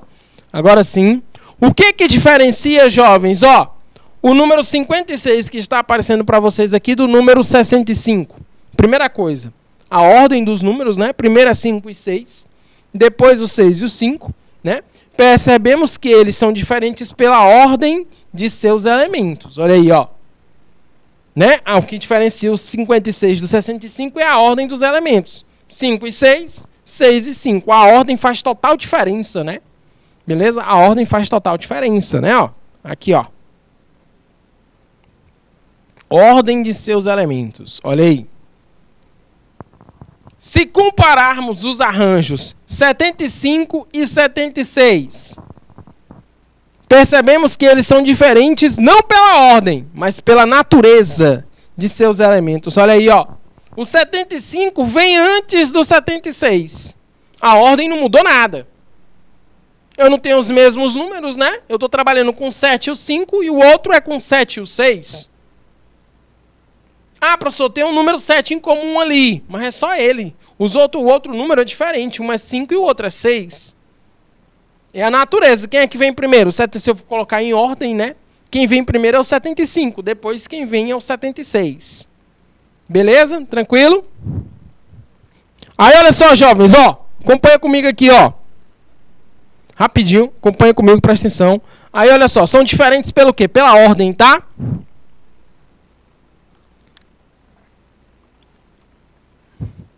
São diferentes pela ordem. Isso, 56 e o 65 os 75 e os 76 são diferentes por quem?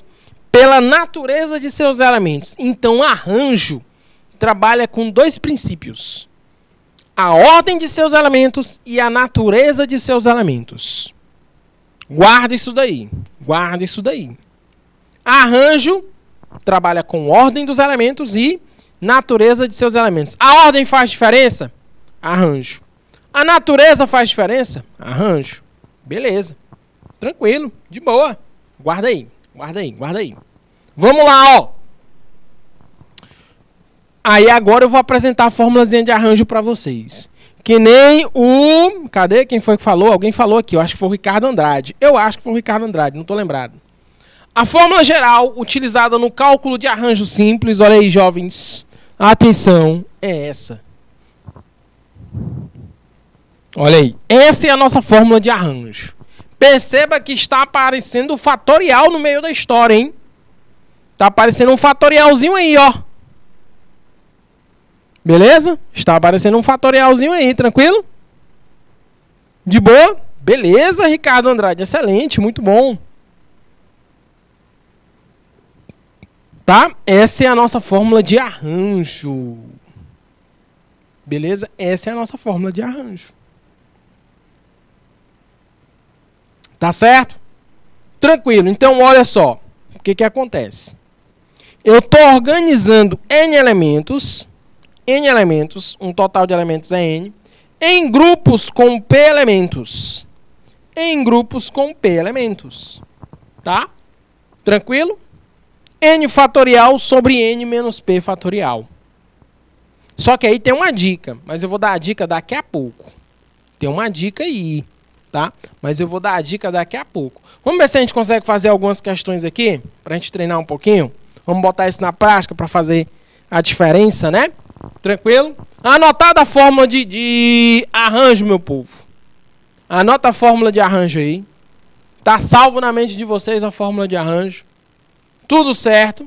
A gente vai entender na prática como é que funciona agora. Primeiro, Vamos fazer conta simples, entender como é que funciona a fórmula. Calcule o arranjo e tal. Olha aí, ó. Pronto, aí. Tá aí. Vamos fazer essa continha aí rapidinho? Vocês conseguem fazer? Eu vou fazer a letra A. Eu vou fazer a letra A. E vou deixar a letra B e C para vocês. Pode ser para a gente treinar? Ó a letra A, ó o arranjo de seis elementos, eu vou pegar, tenho seis elementos e vou organizá-los em grupos de três a três. Olha aí, pai, olha. Ó. Vou substituir o N por 6 e vou substituir o P por 3. Olha só como é que fica, ó. 6 fatorial sobre 3, 6 menos 3. Aí você resolve o parênteses, tá? Resolve o parênteses, beleza? 6 menos 3 é 3. Aí eu vou desenvolver o 6 fatorial até encontrar o denominador. Aí, ó. Aí aqui, pai, olha. Aqui, ó, chai, olha. Aqui, ó, tome, olha. Aqui, ó, chai, chai, olha. Aqui, ó, tome, tome. Aí, pai, olha. Simplificou, ó. Simplificou, ó. Aí a minha conta se resume a 6 vezes 5 vezes 4. Dá o quê? 30 vezes 4, 120, olha aí, ó. 120. Muito easy, muito fácil, aí, ó. De boa. Como é que fica então? Vamos lá. A letra B. Ó, já deixei a resposta da letra A ali, tá? Já deixei a resposta da letra A ali, beleza? Tranquilo? Como é que fica então a letra B? Diz aí pra mim. Vamos fazer assim, ó. Acredito não. Ah, não, a gente tem tempo, né? Tem tempo, tem. Vamos deixar aí 5 minutos aí, produção. 5 minutos.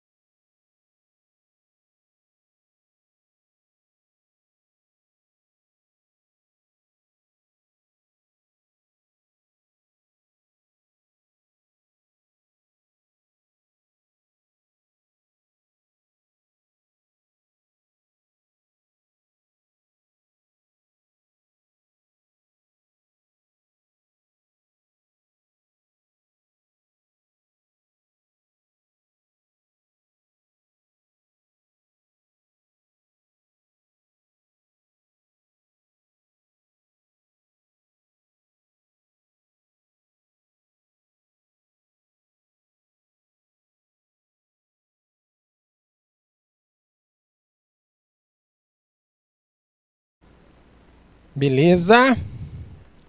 Agora sim, voltamos. Show de bola, tranquilo. É, tô vendo a resposta da galera aqui, né? Tainara Andrade entendeu, Tainara, que eu vi seu comentário de que não tinha entendido a letra A. O Marcelo da Cruz, bom comentário, excelente. Show de bola. Ó, tem uma galera aqui lá da unidade escolar. Deromi Soares, não é isso? Lá de Buriti dos Montes. Ó, vamos lá. Aninha Clarinha, show de bola. Vamos ver aqui a letra B, ó, ver se bate com a resposta de vocês. Né? Eu tô pegando um total de 10 elementos e organizando eles em grupos com 4 elementos, né? Eu tô pegando um total de 10 elementos e organizando eles em grupos com 4 elementos. Beleza, Ana Mayra? Desculpa, Ana Maiara, desculpa. Tranquilo, devagar. Acompanha comigo. Eu estou pegando um total de 10 elementos e organizando em grupos com 4 elementos. Então, meu N é 10, o meu P é 4. O meu N é 10 e meu P é 4. O total de elementos é 10. O total, né? Eu estou organizando em grupos com 4 elementos. Grupos com 4 elementos, né? É o meu P. Meu P é 4. Grande Carlos Emanuel. Ó, vamos lá, jovens, ó. Vou substituir o N por 10 e o P por 4, hein? Pronto, tá aqui, ó. Aí eu vou resolver o que está dentro do parênteses primeiro. Beleza? Eu vou responder o que está dentro do parênteses primeiro. 10 menos 4. 10 menos 4 é quanto? Né? 6, tá? 10 fatorial sobre 6 fatorial. Eu vou desenvolver o 10 fatorial até encontrar o 6 tá? Eu vou desenvolver o 10 até encontrar o 6. 10 vezes 9 vezes 8 vezes 7 vezes 6. Olha aí, pai. Olha aí, ó. Até aí tudo bem, Ana Maiara? Beleza, Carlos Emanuel? Até aí tudo bem, Ana Maiara?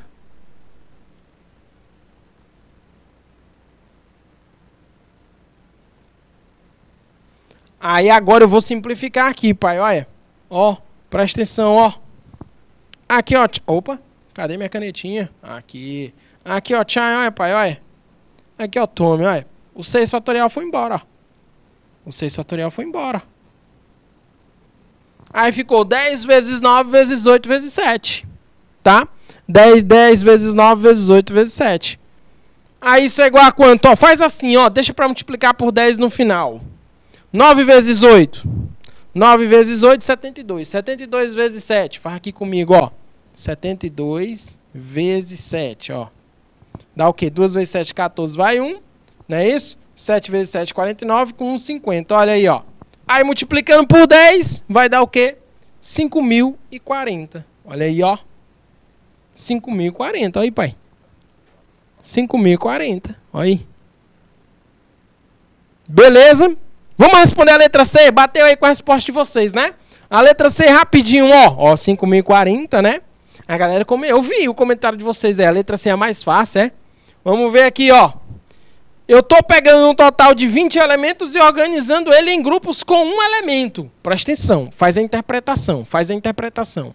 Eu tenho um grupo, eu tenho um total de 20 elementos. Eu estou organizando ele em grupos com um elemento. Eu tenho quantos grupos? Eu preciso fazer a conta. Só interpreta, só interpreta. Eu tenho um total de 20 elementos. Tá. Vamos fazer assim, 20 alunos, 20 alunos.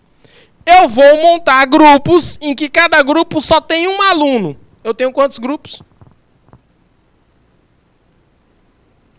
Eu tenho quantos grupos? Eu preciso fazer a conta? É isso aqui, é isso que, é isso que essa pergunta está me dizendo, ó. O arranjo de 20 elementos em grupos com um elemento. Vou repetir a pergunta. Você tem 20 alunos, tem uma turma ali, tem uma sala com 20 alunos. Eu vou montar grupos em que cada grupo só tem um aluno. Eu tenho quantos grupos?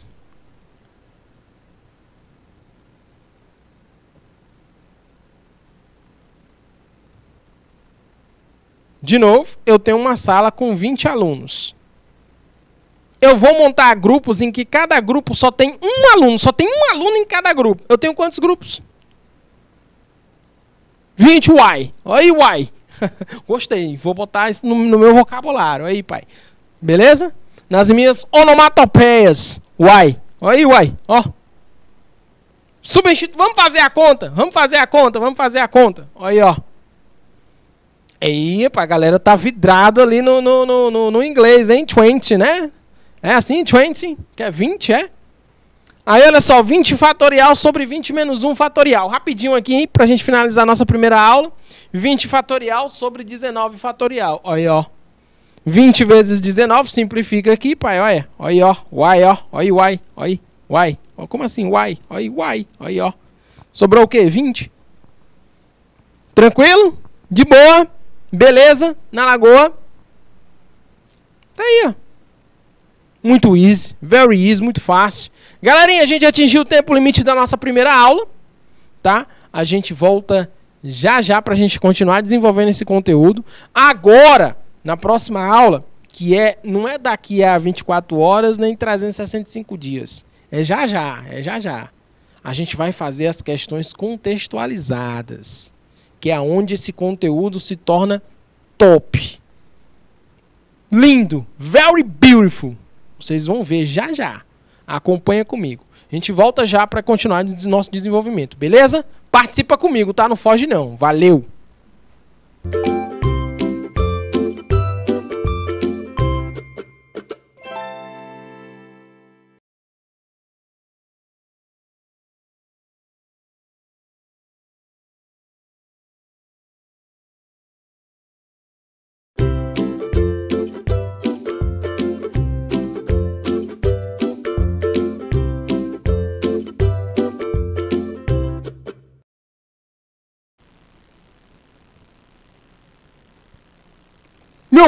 Deus do céu, voltamos, voltamos há quanto tempo, meus amigos?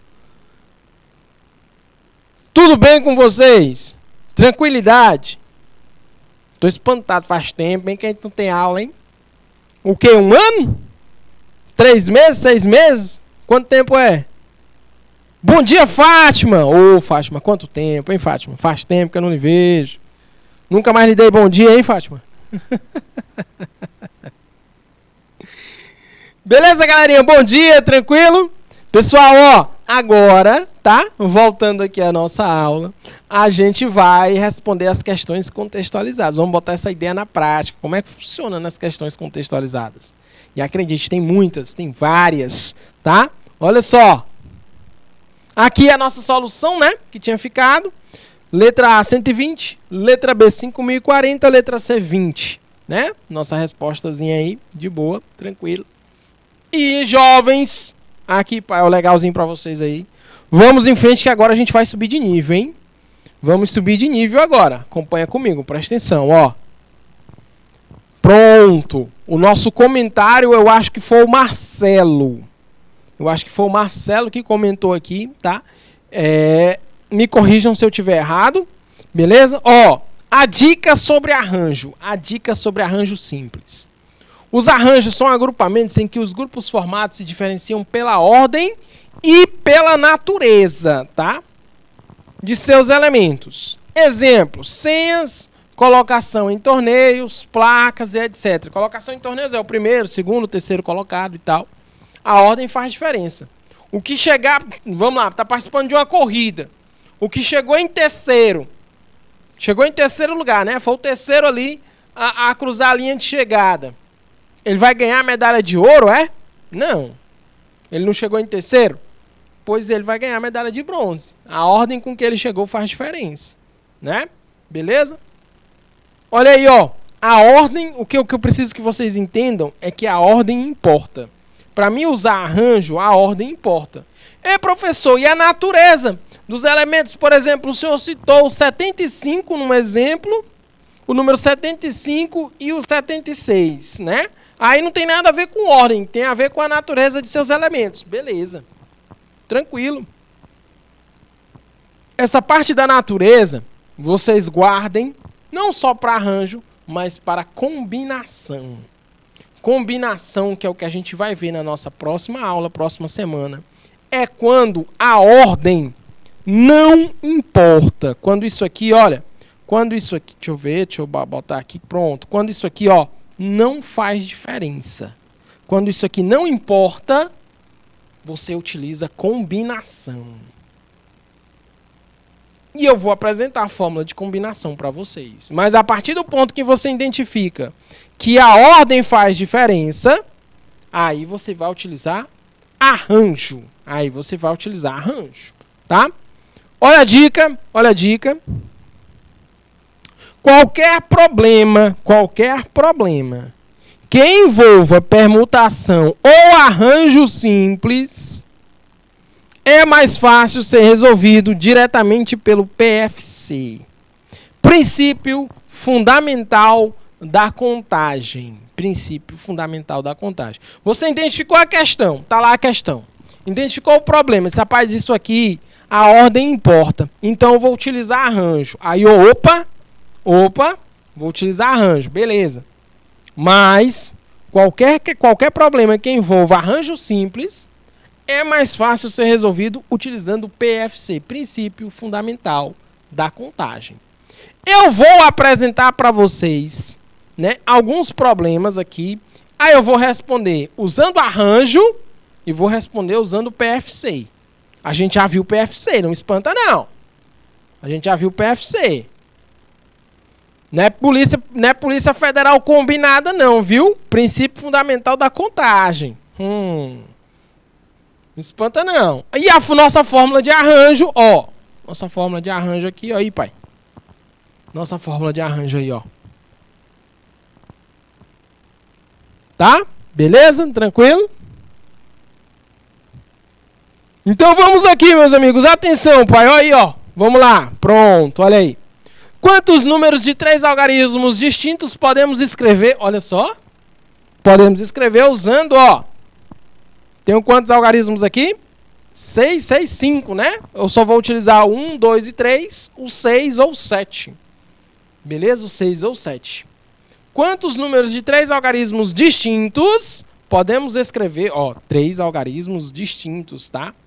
Podemos escrever usando os algarismos. Aí eu pergunto para você, ó, vamos montar aqui um número, por exemplo, de três algarismos. É 362. Tá aí, é um número de três algarismos.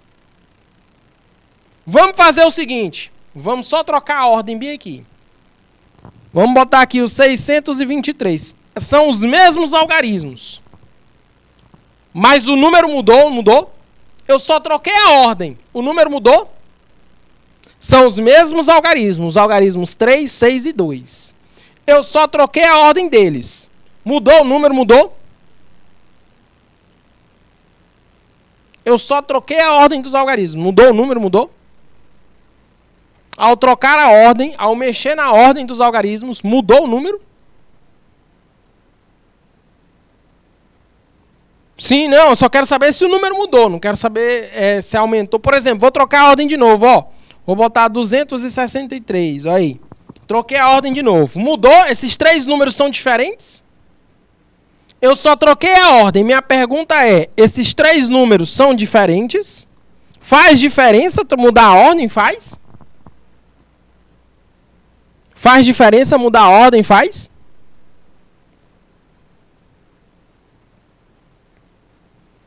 Eu só troquei a ordem dos números. Fez diferença?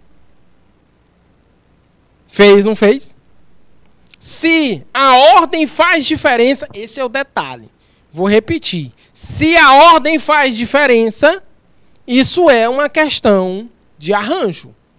Se a ordem faz diferença, isso é uma questão de arranjo.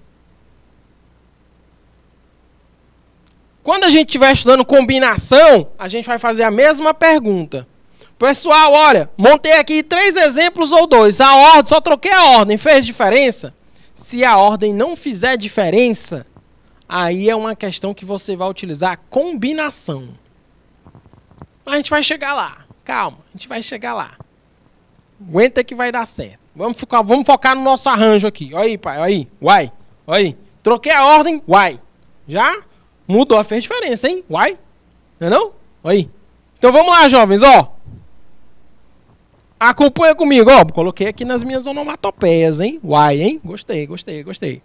Então, jovens, vamos utilizar aqui, ó. Ó o detalhe, ó. A ordem importa. Nosso aluno virtual aqui dizendo que a ordem importa, né? Tá? Vamos utilizar a fórmula de arranjo. Olha aí a fórmula de arranjo. N fatorial sobre N menos P fatorial. Eu tenho quantos algarismos? Eu tenho um total de 5 algarismos. Eu vou organizá-los em grupos com quantos algarismos? Eu vou organizá-los em grupos com 3 algarismos. Então, o meu N é 5, o meu P é 3. O meu N é 5, o meu P é 3. Beleza? Vamos lá, jovens, ó. Atenção. Substituindo, ó. O meu N é 5, o meu P é 3. 5 fatorial sobre 5 menos 3 fatorial. Aí vai ficar assim, ó. 5 fatorial sobre, resolvendo parênteses, né? 2 fatorial, correto? 2 fatorial, correto? Eu vou desenvolver o 5 até encontrar o 2. Ó. 5 vezes 4 vezes 3 vezes 2. Aí simplifica aqui, ó. Aqui, ó. Simplifica aqui, ó. De boa. 5 vezes 4 vezes 3. Quanto é 5 vezes 4 vezes 3? Olha aí, 5 vezes 4, 20 vezes 3, 60. Beleza, Eric? Ericzão aí participando com a gente. Show de bola, Eric. Massa. 60. Então quer dizer que eu tenho 60 números, né? Com três algarismos distintos. Olha aí. Aí, respondemos por arranjo, não foi? Respondemos, aplicamos a fórmula de arranjo e respondemos, não foi? Vamos fazer agora para o PFC. Vamos utilizar agora PFC. Ó. O que foi que eu disse para vocês? Ó. Foi que eu disse para vocês lá no slide, ó. Aí, ó. Foi que eu disse para vocês, aí, ó. Qualquer problema que envolva permutação ou arranjo simples é mais fácil ser resolvido usando PFC, Polícia Federal Combinada. Nada disso, rapaz. Ora, uai. Princípio fundamental da contagem. Princípio fundamental da contagem. Beleza? Show de bola? Princípio fundamental da contagem. Eu disse para vocês lá nesse slide aqui, ó. Tá? Lá nesse slidezinho aí. Beleza, bacana? Então, meus amigos, acompanha comigo, olha. Atenção. Ó. Vamos responder usando o PFC, princípio fundamental da contagem. Acompanha comigo, presta atenção. São três algarismos, né? Não são três algarismos? Não são três algarismos? Então bota aqui, olha. Três. Um, dois, três. É assim que você utiliza o princípio fundamental da contagem. Eu tenho quanto... Ó, detalhe principal, vou circular aqui, contornar aqui, ó distintos, hein? Distintos, eu não posso repetir. Eu não posso repetir. Eu não posso repetir. Então eu tenho quantas opções de números para cá? Eu tenho quantas opções de números para cá? Eu tenho quantas opções de algarismos? Desculpa. Tenho quantas opções de algarismos? Eu posso usar qualquer um desses algarismos. Eu tenho quantas opções? Cinco. Pra cá, então, ó, pra segunda casa, eu tenho quantas opções? Ó, o detalhe, hein? Distintos, eu não posso repetir. Eu não posso repetir. Eu não posso repetir. Então, eu tenho quantas opções pra segunda casa? Quatro. Boa. Porque eu já usei um número na primeira, eu não posso repetir, né? Então, só tenho op quatro opções pra segunda casa. Pra terceira aqui, ó, eu tenho quantas opções? Pra terceira aqui, eu tenho quantas opções? Para minha terceira casa eu tenho quantas opções de número? Eu não posso repetir, hein? Lembra que eu não posso repetir. 3. Boa! Multiplica aqui, pai, olha. Ei, ei, ei, ei, uai, uai, olha. Deixa eu lembrar um negócio para vocês. Presta atenção. Deixa eu lembrar um negócio para vocês. Pessoal, olha. É um número com três algarismos, né? Um número com três algarismos, ele é formado por centena, dezena e unidade, não é não? Vocês estão lembrados disso, não estão? Vocês estão lembrados disso, não estão? Pelo amor de Deus. Na minha época, isso era alfabetização. Hoje eu acho que é primeiro ano. Na minha época era alfabetização. Hoje eu acho que é primeiro ano. Centena, dezena e unidade. Tá? Beleza? Um número com três algarismos, eu vou até mudar de cor. Ele é formado por centena e dezena e unidade. Centena e dezena e unidade. Vamos lá. Ó, vocês estão lembrados do conectivo I? Vai já, Jamile. Vai já, Jamile. Explico já já, Jamile. Vocês estão lembrados do conectivo I? Centena e dezena e unidade. Um número com três algarismos, né? É por isso que eu vou multiplicar. Tá? É por isso que eu vou multiplicar. Vocês estão lembrados disso, né? Tranquilo?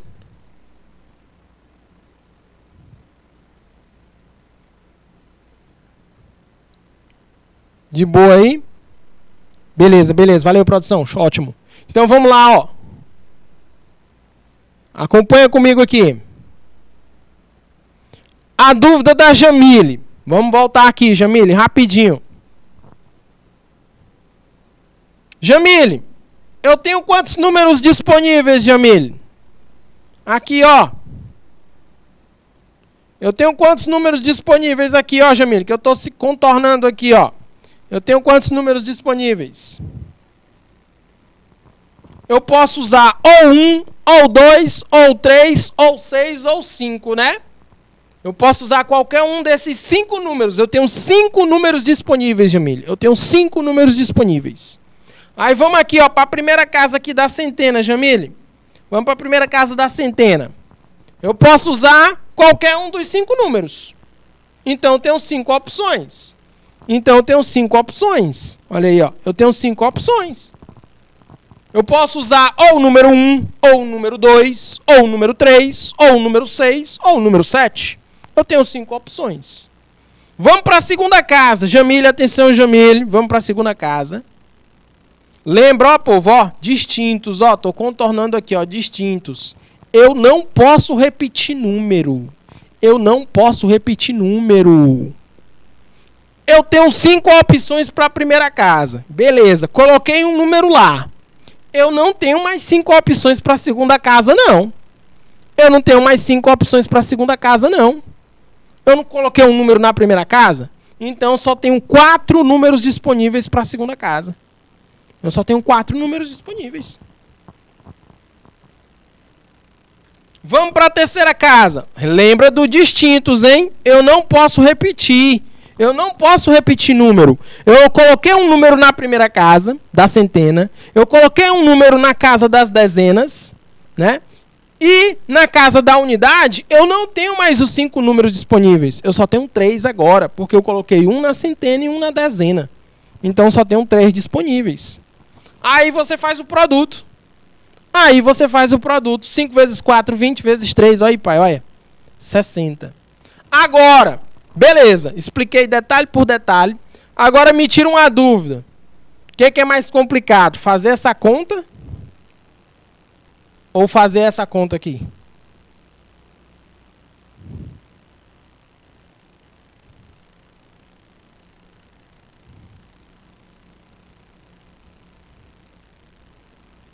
Né? Só que aí tem um detalhe.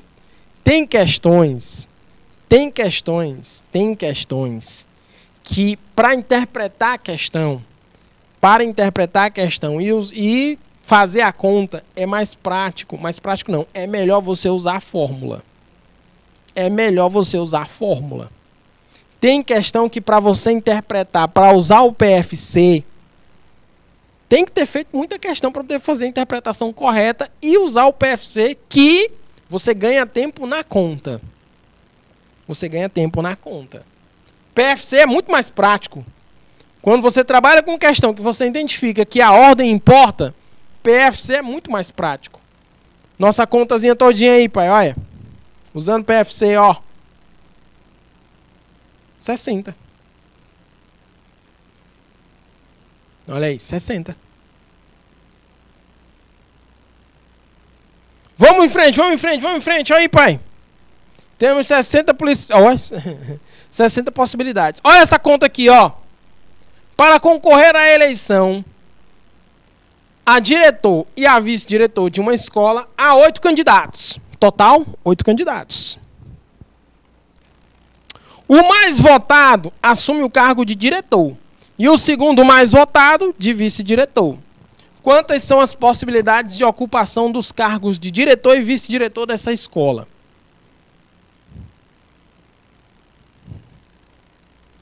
Ah, aí seria perito criminal, Carlos Emanuel. Aí seria perito criminal. Vamos lá, meu povo.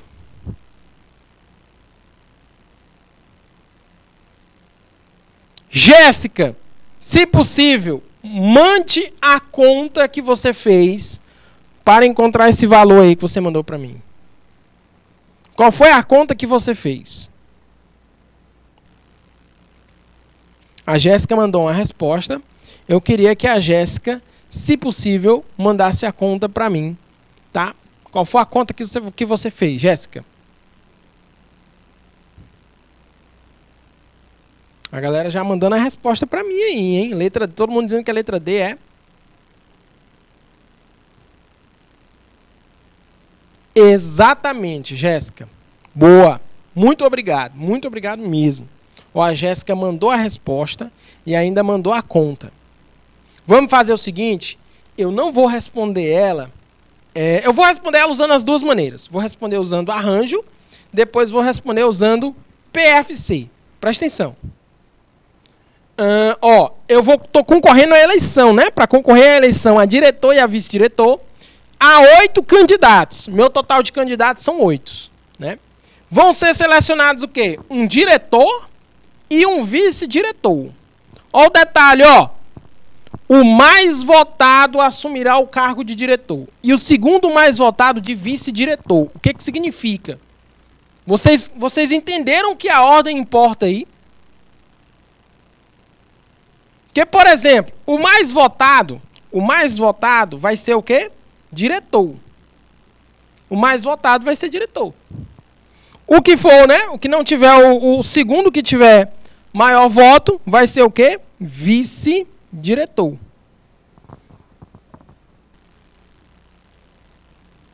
A ordem importa, não importa não?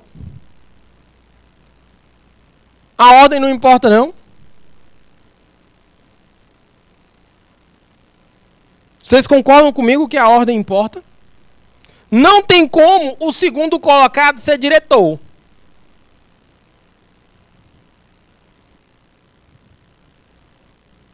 Quem é diretor é sempre o que é o mais votado. O menos votado ser diretor não tem como. A ordem faz diferença. Quem ganhar a maior quantidade de votos é o diretor. Certo? Beleza, show de bola. Então, você tem um total, olha só. Temos oito candidatos para duas vagas. Temos oito candidatos para duas vagas. Uma de diretor e uma de vice-diretor. Então, vou arranjar oito candidatos em grupos com duas vagas. Em grupos com dois elementos. Olha aí, ó. Olha aí, ó, nosso aluno participando ali, ó. A ordem importa, hein, pai? Então aí, ó. 8 fatorial sobre 8 menos 2 fatorial, né? Você resolve o parênteses. 8 menos 2 dá 6 fatorial. Olha aí. Vai dar o quê, ó? Você simplifica aqui, ó. Aí, ó. Y. Oxi, y, y, y. Aí, ó. Simplifica aqui, ó. Aí, pai. Ah, meu garoto, aqui ó, tchau, aqui ó, tome, olha. Aqui ó, tchau, aqui ó, tome, aí, pai. 8 vezes 7 ficou a nossa conta. Que é quanto isso? 56. Respondemos a questão usando arranjo. A gente acabou de responder a questão usando arranjo. Vamos responder ela agora usando PFC. Princípio fundamental da contagem. São quantos candidatos ao todo? São oito candidatos. São oito candidatos, né? Vou botar assim para a gente ganhar espaço aqui e tempo. Total, oito candidatos.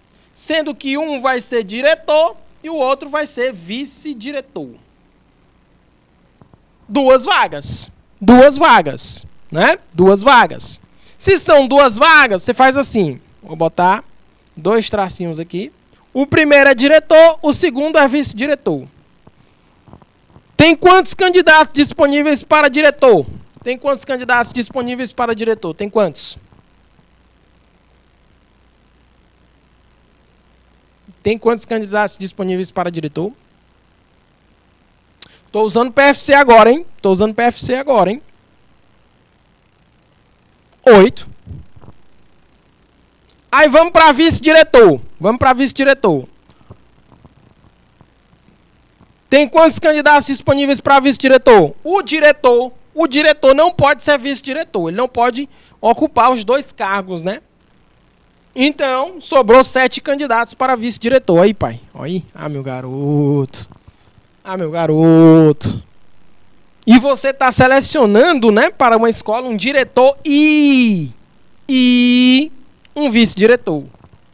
Olha aí a multiplicação aí, pai. Quanto é 8 vezes 7? Quanto é? Ó aqui embaixo, olha. Ó aqui embaixo, olha. Quanto é 8 vezes 7? Quanto é? 56. Olha aí. Acabamos de responder nossa questão usando PFC. Polícia Federal combinado. Aí, pai. Princípio fundamental da contagem, rapaz. Ô, oh, uai. Ô, oh, uai. Beleza? Vocês entenderam isso? Tranquilidade aí, jovens. Anota aí, anota aí nas onomatopeias do professor Rafael aí. Beleza? Tranquilo? Massa. Muito bom, muito bom, muito bom. Será que a gente tem mais um, produção? Oi, tem mais. Boa. Ah, resposta, né? Letra C, 56. Opa, mas tem mais um aqui. Olha aí. Em uma corrida com 10 atletas competindo, pergunta-se: de quantos modos distintos, ou quantas combinações, podem ser conquistadas as medalhas de ouro, prata e bronze? Olha aí, é uma questão de colocação, né, ó? Que vai me dizer que quem chegar em terceiro vai ganhar ouro. É uma corrida, né? Em uma corrida com 10 atletas. Aí tu vai me dizer que quem chegar em terceiro, quem chegar em terceiro ganha ouro. É a mesma coisa que quem chega em primeiro. É? A pessoa que chegou em terceiro lugar vai ganhar o mesmo prêmio que quem chegou em primeiro. Vai?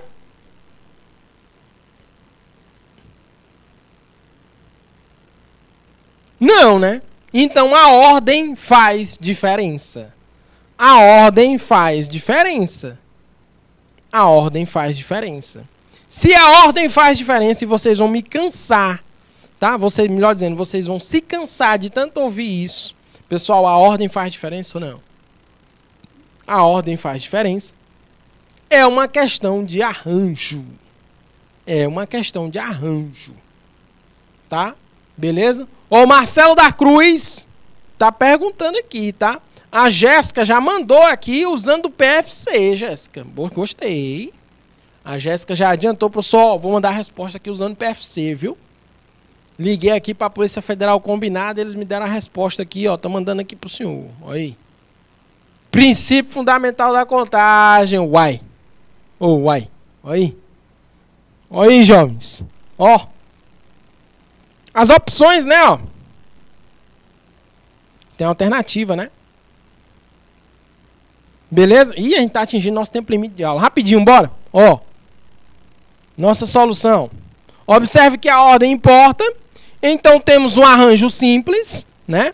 Temos um arranjo simples. Usando a ideia de arranjo, vocês mandaram por princípio fundamental da contagem, eu vou responder por arranjo então. É um total de 10 candidatos. E eu vou selecionar a galera para quem chega em primeiro ganhar ouro, quem chega em segundo ganhar prata, quem chega em terceiro ganhar bronze. Então eu vou organizá-los em grupos com três. Né? Três elementos, três atletas, não é isso? Então, ó, 10 fatorial sobre 7 fatorial, que a conta se resume, olha. Uai, simplifica aqui, olha, aqui ó, Chai, aqui ó, Tom. Olha, ó. Uai, aqui ó, Chai, olha, pai. Aqui ó, Tom. Olha, ó. 10 vezes 9 vezes 8. 10 vezes 9 vezes 8, 720. 720, letra A. Mas a galera que respondeu por PFC, a galera que respondeu por PFC fez assim, ó. Nós temos 10 opções para ouro. Quem chegar em primeiro não vai ganhar, não vai chegar em segundo, né? 9 opções para prata, quem chega em segundo. 8 opções para bronze. 10 vezes 9 vezes 8, isso é igual a quanto? 720. Beleza, jovens? Atingimos nosso tempo limite de aula. Eu agradeço demais a participação de vocês. Vocês são top. Muito bom. Show de bola, bacana. Beleza? Pessoal, participem mais, tá? Participem mais. É sempre bom ministrar aula com vocês aqui. Vitor Galdino tava aí caladinho, né? Mas eu vi aqui seu comentário, beleza? Show de bola. Qualquer dúvida, meu povo, por favor, participe. A gente precisa dessa participação para tirar essa dúvida, que com certeza a dúvida não é só sua. Tem um grupo, né? Não sei de quantos alunos que também têm a mesma dúvida. A gente faz um arranjo aqui para explicar de novo, para tirar essa dúvida. tá? Valeu, galerinha. Até a próxima. Fui.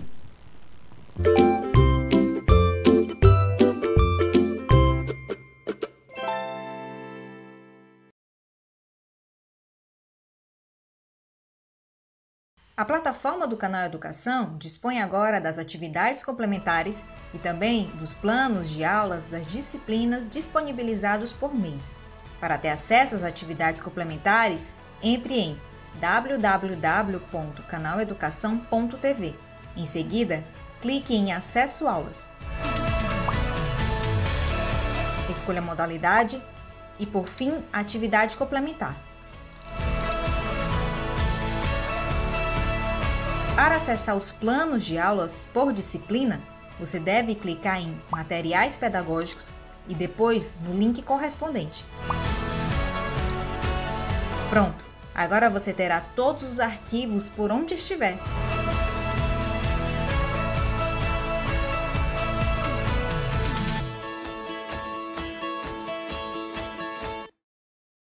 Podcast Canal Educação com dicas para o Enem. Para escutar é muito fácil. Abra seu aplicativo de streaming, clique em Buscar e escreva Canal Educação. Selecione a primeira opção. Você será direcionado a todo o conteúdo com dicas para o Enem de forma fácil e didática. Siga agora mesmo o podcast do Canal Educação no Spotify, Deezer e iTunes. Não deixe de acompanhar as aulas remotas transmitidas pela Rede Estadual de Ensino do Piauí. Olá, pessoal, sejam bem-vindos ao podcast do canal Educação.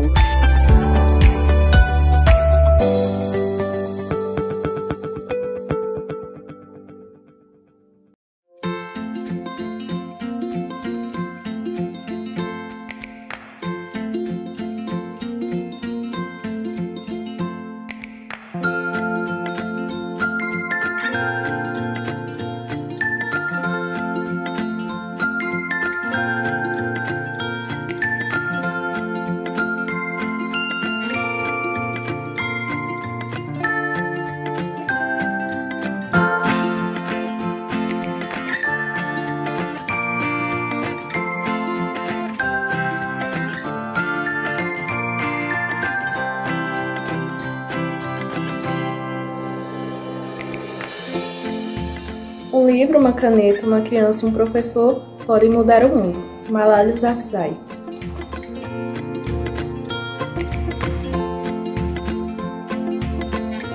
Bom dia, meus queridos estudantes, preparados para mais uma. Opa!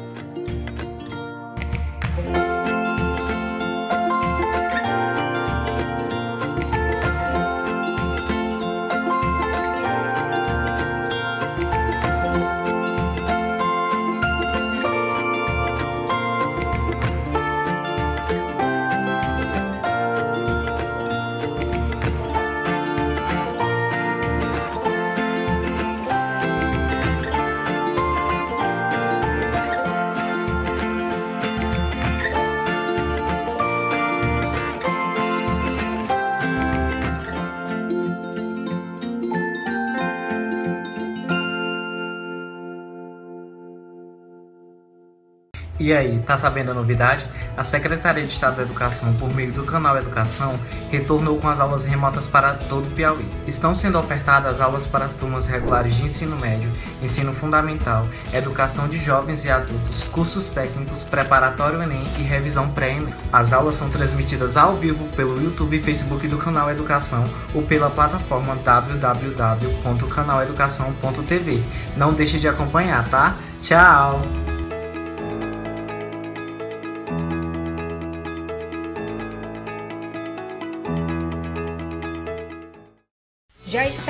Disponível o primeiro lote dos certificados da Formação Continuada 2019-2020 para a implementação do currículo do Piauí. Para ter acesso ao certificado, digite o endereço eletrônico currículo do piauí.canaleducação.tv login. Em seguida, informe seu CPF e a sua senha de acesso. Ao abrir, basta clicar em Certificado e imprimir. Não deixe de conferir. Em caso de dúvidas, entrar em contato pelo e-mail currículo.piauí@gmail.com.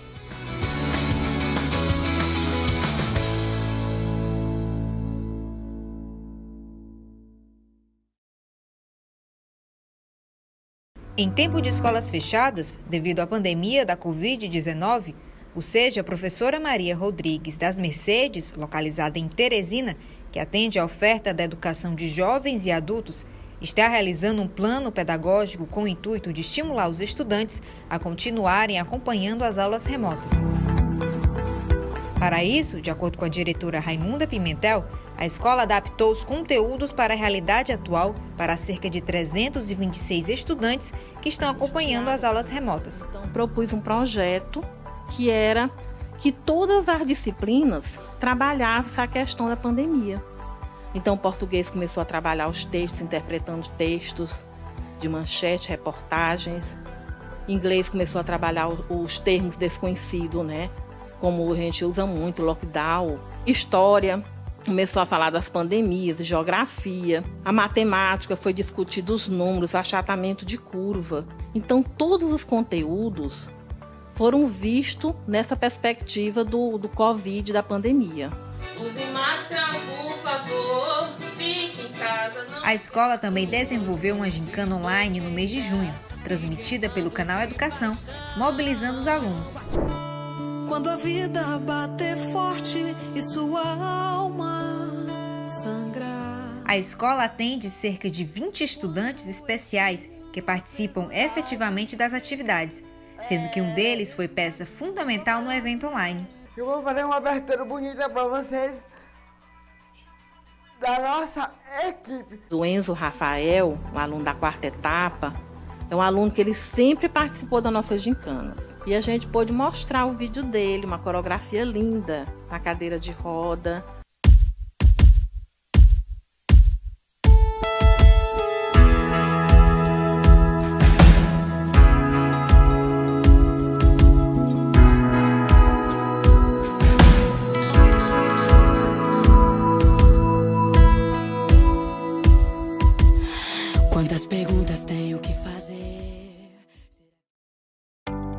sabendo da novidade?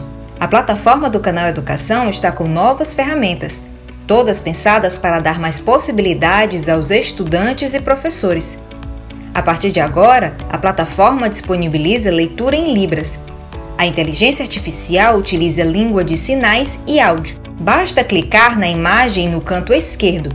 Em seguida, selecione qualquer texto. Em poucos segundos, ela vai reproduzir o conteúdo em Libras Viu como é fácil? Além disso, a Seduc também está disponibilizando todos os planos de curso das aulas transmitidas pelo canal Educação. Para acessar, basta clicar em Materiais Pedagógicos. Agora escolha a turma, depois a série, em seguida faça o download. As novidades não param.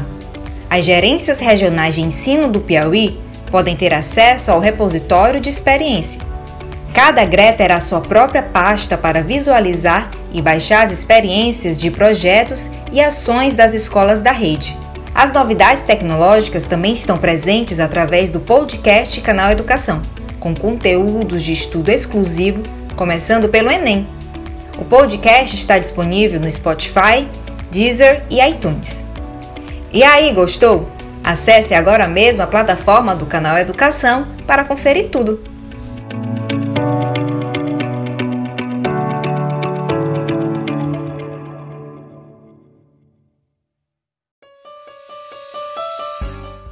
Estudar português é muito importante para o seu dia a dia.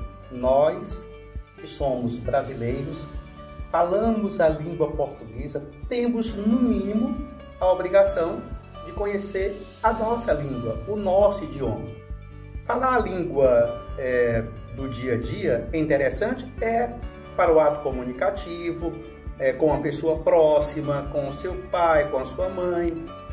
Mas há situações em que você precisa trabalhar o português de acordo com a linguagem padrão.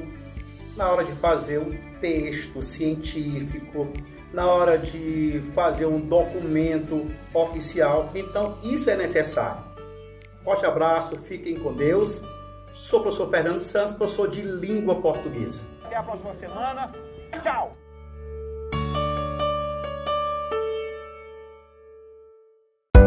Podcast Canal Educação com dicas para o Enem. Para escutar é muito fácil. Abra seu aplicativo de streaming, clique em Buscar e escreva Canal Educação. Selecione a primeira opção.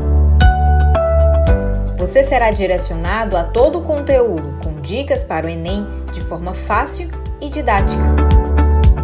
Siga agora mesmo o podcast do Canal Educação no Spotify, Deezer e iTunes.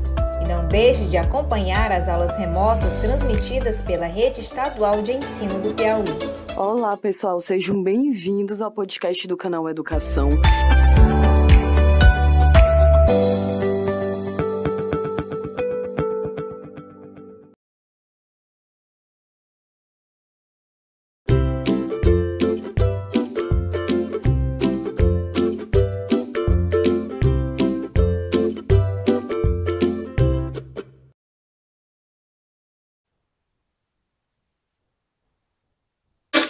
Muito bom dia, queridos alunos, tudo bem? E aí, galera, tudo beleza, né? Estamos começando a nossa aula ao vivo através do canal Educação para todos os nossos alunos da segunda série do ensino médio. Vocês aí, em várias cidades do nosso estado do Piauí, nos acompanham ao vivo e podem interagir conosco, né, através do YouTube o chat aí está aberto. Já recebendo aqui bom dia da Socorro, lá, Sales, Caio Nascimento, lá do, da Unidade Escolar Deromi Soares, é, Givaniel, Marcos, Eric, uh, José Walisson, é, Nizete, Eric, é, o Givaniel é do João Ferri, de Agricolândia do, no Piauí, Agricolândia do Piauí isso aí, Laisa, né, Laisa Kailani. Muito bem, galera, estamos juntos.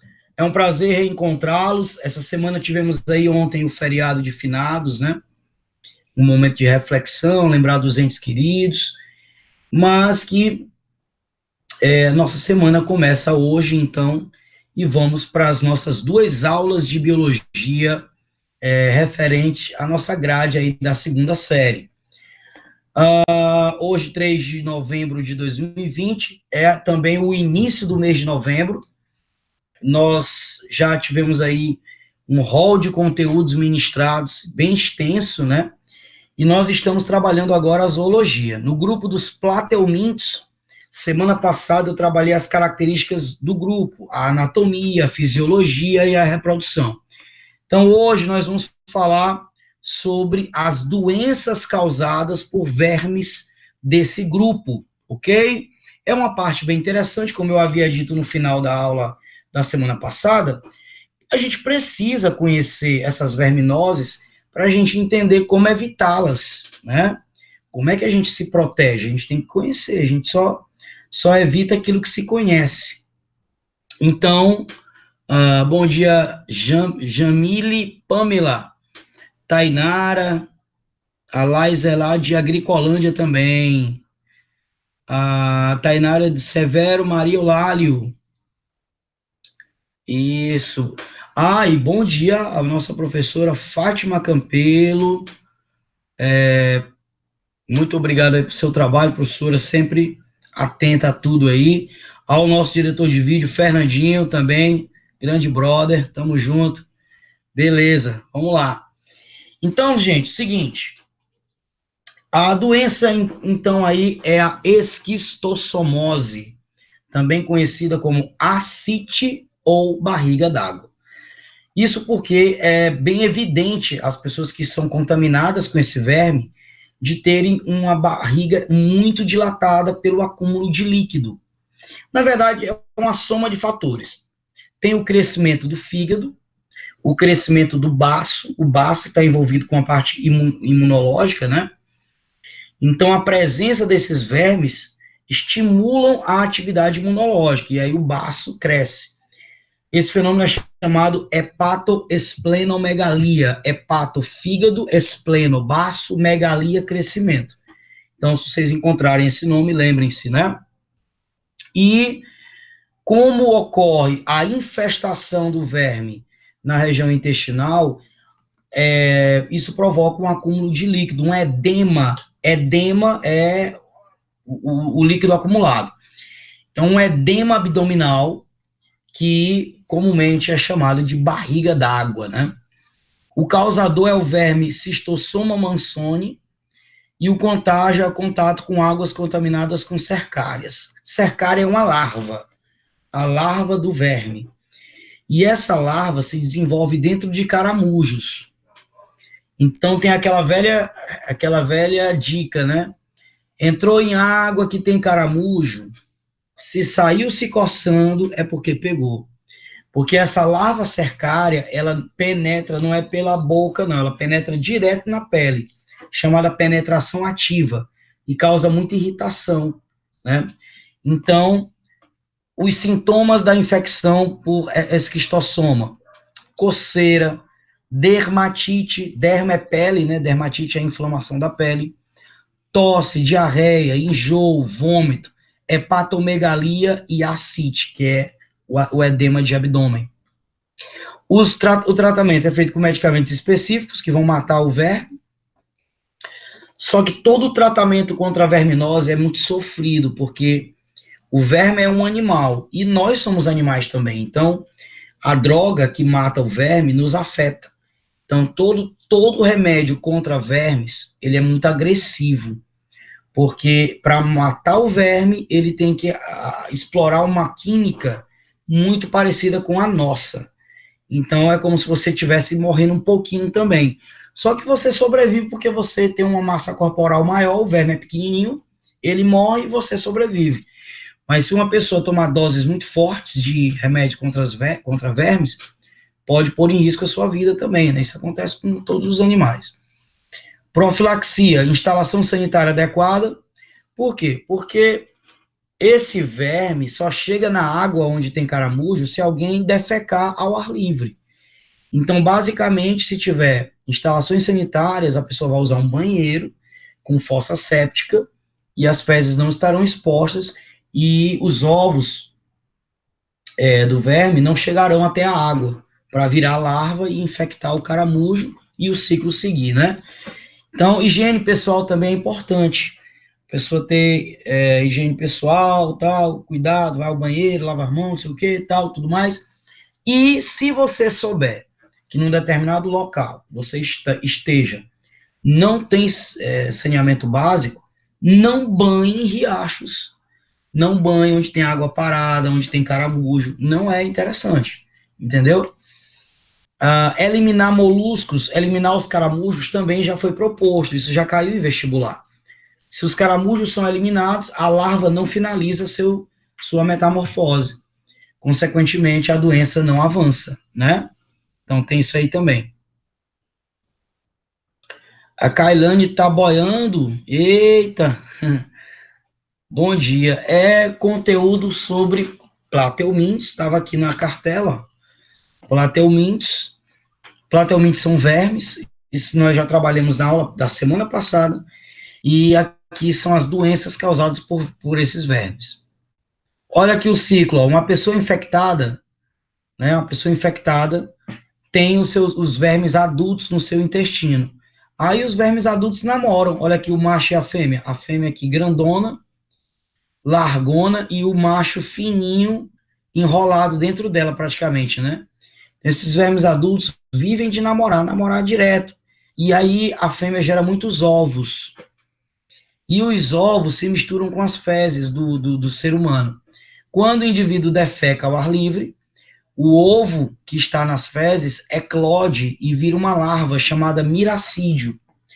Essa larva tem cílios onde ela sai nadando e ela encontra um caramujo. Então, se tiver caramujo nesse, nesse riacho, nesse lago ou nesse rio, o miracídio vai invadir o caramujo e o caramujo vai servir só de, é, digamos assim, de um local para metamorfose. Por quê? A larva miracídio, dentro do caramujo, sofre uma metamorfose e passa para uma larva chamada de cercária. E essa larva cercária sai nadando em busca de uma outra pessoa. E aí, se uma pessoa estiver nadando em contato com aquela água, a larva cercária penetra pela pele, invade o organismo dessa pessoa e se instala no intestino. E aí o ciclo recomeça tudo novamente, ok?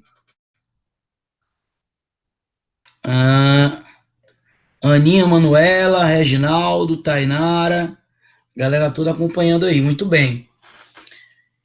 E a outra doença é a teníase. Teníase é a infecção provocada pelo verme tênia, tênia solium, que é típica do porco, e a tênia saginata, que é típica do boi. O contágio, ingestão de carne contendo cisticerco do parasita. Aí uma história que é importante colocar os pingos nos is. É o seguinte, quando pessoas que têm tênias vivem no local onde não tem saneamento básico, pessoas que têm tênia, que é um verme comprido, parece uma fita, que cresce no intestino, e ela se reproduz sozinha, porque ela é hermafrodita e ela se autofecunda.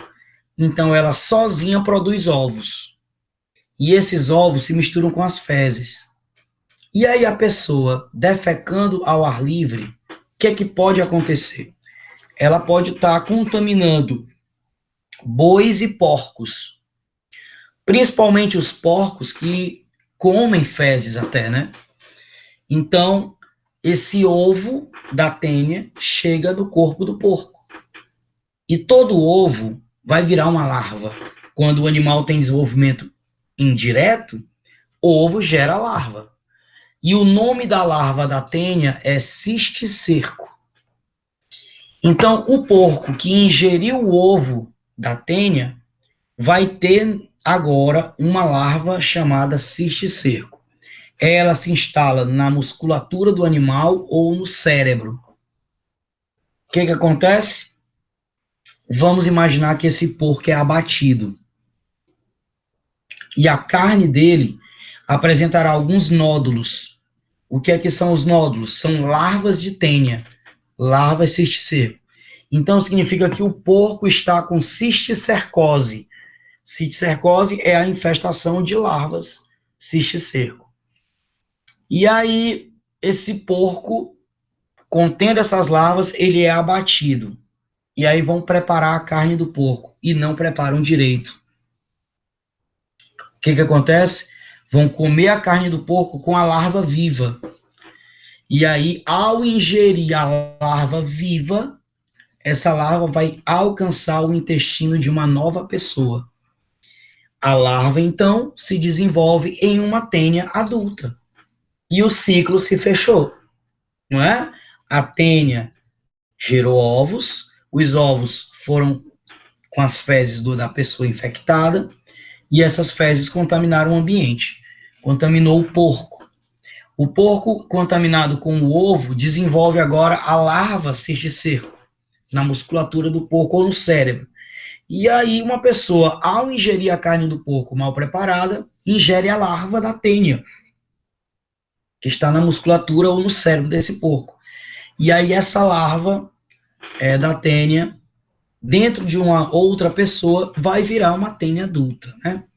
Aí os sintomas, diarreia, prisão de ventre, insônia, irritabilidade, emagrecimento, porque a tênia não tem intestino. A tênia rouba os nutrientes da pessoa. Então a pessoa come e não sente que está se alimentando, não está saciando, porque a tênia está roubando os nutrientes de, de, dessa pessoa. O tratamento, então, com drogas que matam parasita no intestino, e a profilaxia, instalações sanitárias adequadas, evitar consumir carne de boi ou porco crua ou mal cozida, inspeções a frigoríferos e abatedouros, né? é importante essa fiscalização. Aí nós temos a Anvisa, né, que é um órgão fiscalizador dos alimentos. Beleza? Então tá aí, olha, teníase, o ciclo do parasita, uma pessoa com a tênia no intestino, a tênia gera ovos, os ovos contaminam a carne do boi ou do porco, e aí tem as larvas, olha, olha as larvinhas aqui, os cisticércos, né? Quando a pessoa pega a carne desse animal e não, e não cozinha bem, não prepara direito, ao ingerir, vai ingerir as larvas da tênia, e aí essa pessoa acaba tendo uma, uma teníase, né? Larva vira adulto. Então, ao ingerir as larvas da carne, vai desenvolver uma tênia adulta nessa pessoa. O interessante, pessoal, é que a tênia também é conhecida como solitária, né? Por que, que ela é chamada de solitária? Porque a tênia, ela vive só. Ela não, não permite que outra tênia cresça do lado dela, obviamente no mesmo intestino. Por quê? Porque ela vai ter que brigar pelos nutrientes. Esse animal não tem intestino, então ele é dependente total é, dos nutrientes que a pessoa esteja ingerindo. E é, a tênia já é obrigada a ter que dividir os nutrientes com a pessoa, com seu hospedeiro, né? Com a pessoa que está com a tênia na barriga, ela está dividindo os nutrientes. Se tiver uma outra tênia na história, aí bagunça o negócio. Então ela não permite. Ela vive só. E aí a natureza deu a ela os dois sexos, ela é hermafrodita, ela se autofecunda e produz os seus ovos sozinha, ok? A outra infecção aqui é a cisticercose. Cisticercose é quando, pessoal, o ser humano ocupa o lugar do porco naquele ciclo que eu falei. Como assim, professor? O ser humano vai lá comer fezes, como você falou? Não. Porque não é só ingerindo fezes com ovos. Fezes com ovos contaminam o ambiente. Pode ter uma chuva que arraste os ovos que estão naquelas fezes para o riacho e tal, é, pode contaminar lavouras, plantações. Então, ovos de tênia podem ser localizados, por exemplo, em alface, tomate, é, em verduras que a gente come cru. E quando o ser humano ingere ovo de tênia, ele não desenvolve uma nova tênia. Ao ingerir o ovo, ele vai desenvolver a larva cisticerco. Então, o homem vai ter cisticercose. E esse cisticerco, essa larva, vai para os músculos do ser humano ou para o cérebro. Todo mundo aqui já deve ter ouvido falar na larva, é, como é que o pessoal chama no interior? A larva do porco, a larva do porco na cabeça. Então, o que acontece? É, quando a pessoa tem a, a famosa larva, do, não é a larva do porco, é a larva da tênia. Essa larva da tênia, ela, ao se desenvolver no cérebro, é a chamada neurocisticercose, né? Então, o que acontece? Os sintomas são dores de cabeça, convulsões e vários problemas neurológicos. O tratamento é feito com medicamentos ou até cirurgias para remover o verme da cabeça. É, larva de mosca, não. Larva de mosca é outra história. Larva de mosca é berne ou miíase, que é por fora. Aqui nós estamos falando de uma larva que é por dentro, né? É por dentro. É... Não, não é larva de mosca não, viu, Eric? A larva de mosca, ela cresce deixando um buraquinho, aí tem que remover. Pode, pode ser várias ou uma só. Se for várias, é miíase. Se for uma só, é berne. Aí é diferente. Aqui é larva da tênia, que foi ingerido o ovo, aí virou larva e se instalou dentro do cérebro.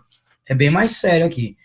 Então tem que ter instalações sanitárias adequadas, filtrar, ferver a água consumida, lavar bem os alimentos. Onde não tem saneamento básico, é bem importante que a população tenha esse cuidado de ferver a água, de, de proteger os seus alimentos, lavar o, as verduras cruas com água com hipoclorito de sódio, água sanitária, fazer a sua parte de higienização. Ok? Mata sim, Gilaniel, mata. É um verme crescendo na cabeça. Se não for feito nada, ele vai matar. Os medicamentos neutralizam o verme para ele não crescer mais. Mas se não for feito nada, vai crescer até o ponto de matar a pessoa. Mata sim. Cisto hidático ou hidatitose.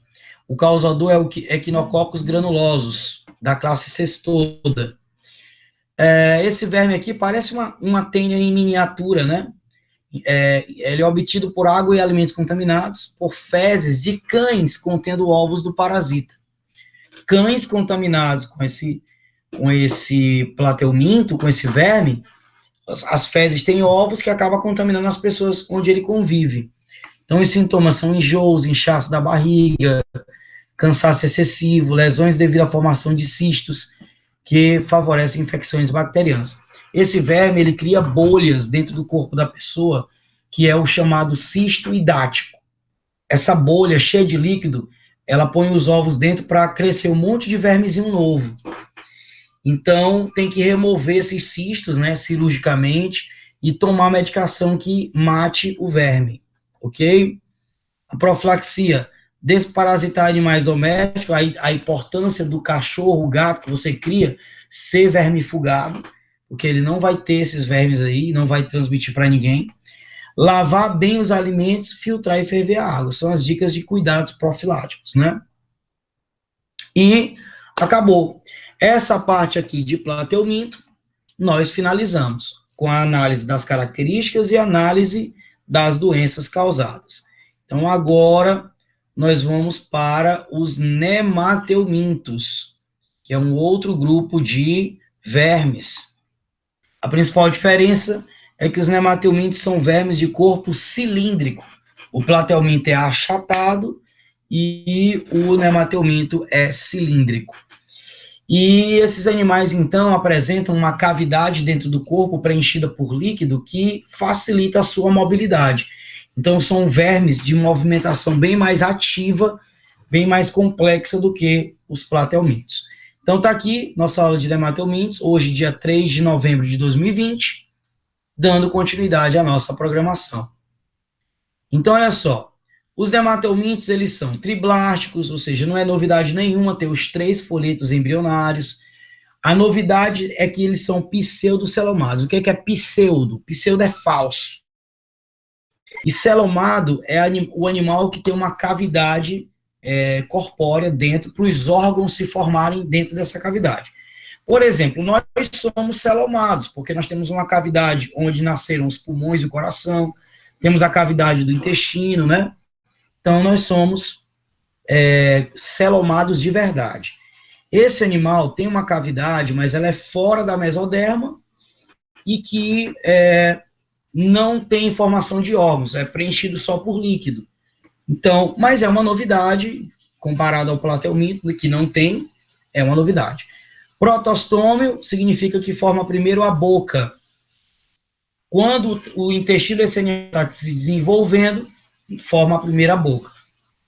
E a simetria bilateral. Simetria bilateral, corpo dividido em lado esquerdo e lado direito. Isso aí já existia no platel. A cabeça, processo de cefalização. Aí nós temos aqui o corpo cilíndrico, extremidades afiladas. Aí o, o grande exemplo são as lombrigas, os ancilóstomos, as filárias, e muitos são causadores de doenças em humanos, muitos são parasitas, ok? Beleza. Tranquilo, tranquilo, tranquilo. Pronto, então tá aí, são as informações gerais sobre o grupo dos nemateumintos. E aí nós temos aqui a anatomia geral. Aqui pegou o verme, cortou no meio para ver como é que ele por dentro, né? Então ele tem uma epiderme, uma pelezinha que, que reveste ele por fora, né? E essa epiderme tem uma cutícula protetora. Isso permite, pessoal, esses animais, pelo fato de terem cutícula, permite que eles possam migrar dentro do nosso corpo para diversos locais. Por exemplo, ele pode ir para o estômago, para o pulmão, para o coração. As lombrigas caminham dentro das pessoas. É, é muito forte isso, mas é verdade. Elas podem causar pneumonia, a pessoa pode ter uma pneumonia causada por vermes no pulmão. Pode ter problema cardíaco, porque elas migram, né? Ah, e aí tem os músculos também, né? A musculatura longitudinal que permite que esse animal se mova de várias formas. Beleza? Ah, digestão. O sistema digestório é completo porque tem boca e ânus, né? Boca e ânus. A digestão, ela é tanto dentro do tubo digestório, porque esse animal come e os alimentos ficam dentro do tubo sendo digeridos, mas também vai entrando nas células e vai tendo a digestão dentro da célula. Então existe a digestão extracelular e a digestão intracelular, ok? Olha os detalhes aqui, esse animal ele tem uma boca, uma, é, a placa retrátil, cortante, né? Para poder capturar comida. Tem a faringe, que tem um anel nervoso. Tem o intestino. Olha o ovário aqui do lado, né? Enorme o ovário. E aqui o ânus, né? Então, o animal completinho aí. A respiração. O sistema respiratório é ausente, não tem um sistema respiratório, é tudo são os gases entrando e saindo pela superfície do corpo. A gente diz então que ela é cutânea e ocorre por difusão, ok? E não tem também sistema circulatório. O sistema circulatório também é ausente, tudo é por difusão com o pseudoceloma. O pseudoceloma é uma cavidade preenchida por líquido, onde, como o líquido vai e volta no corpo do animal, fica distribuindo gases como oxigênio, distribuindo gás carbônico, e aí promove um, um, a circulação, mas não é um sistema circulatório. Promove a circulação, mas não é um sistema como nós temos, com coração, vasos, veias, artérias, diferente. E a excreção também é por difusão do pseudoceloma, ou seja, o líquido tanto permite a, a, as trocas gasosas da respiração, como as trocas discretas né? E existem esses túbulos aqui chamados de renetes ou células H, porque lembra a letra H, onde o túbulo recolhe as excretas de um lado, recolhe do outro e elimina no meio pelo poro excretor, né? Então, os renetes ou túbulos H. Beleza? Ah, o sistema nervoso. Anel nervoso ao redor da faringe. Tem um anel nervoso aqui. E esse anel nervoso se ramifica pelo corpo do animal para os nervos alcançarem todas as partes. Né? São chamados de cordões nervosos longitudinais. Um cordão é, vai pelas costas do animal, que ele é dorsal, e o outro cordão vai pela barriga, que é ventral. Então tem um anel nervoso dorsal e um ventral. E esses dois cordões nervosos se espalham para o corpo do animal para poder recolher as informações neurológicas. E o centro é o gânglio nervoso, como se fosse aqui a cabeça do animal, né? Onde tem esse gânglio nervoso, esse anel nervoso, diríamos aí que é a cabeça dele. O cordão nervoso dorsal, ele é responsável por informações motoras, ou seja, esse nervo aqui dorsal é para emitir comandos de contrações musculares, e nós temos o cordão nervoso ventral, que é tanto para mobilidade, para contrações musculares, como para sentir o ambiente. Então tem função sensorial também. motor e sensorial. Ok? Muito bem. A reprodução dos nematelmintos. Ela é uma reprodução sexuada, onde nós temos que esse animal ele é dioico. Dioico é aquele que tem sexos separados, né, com dimorfismo sexual. O que, que é isso? O macho e a fêmea têm corpos diferentes. Percebo que a fêmea é maior, né?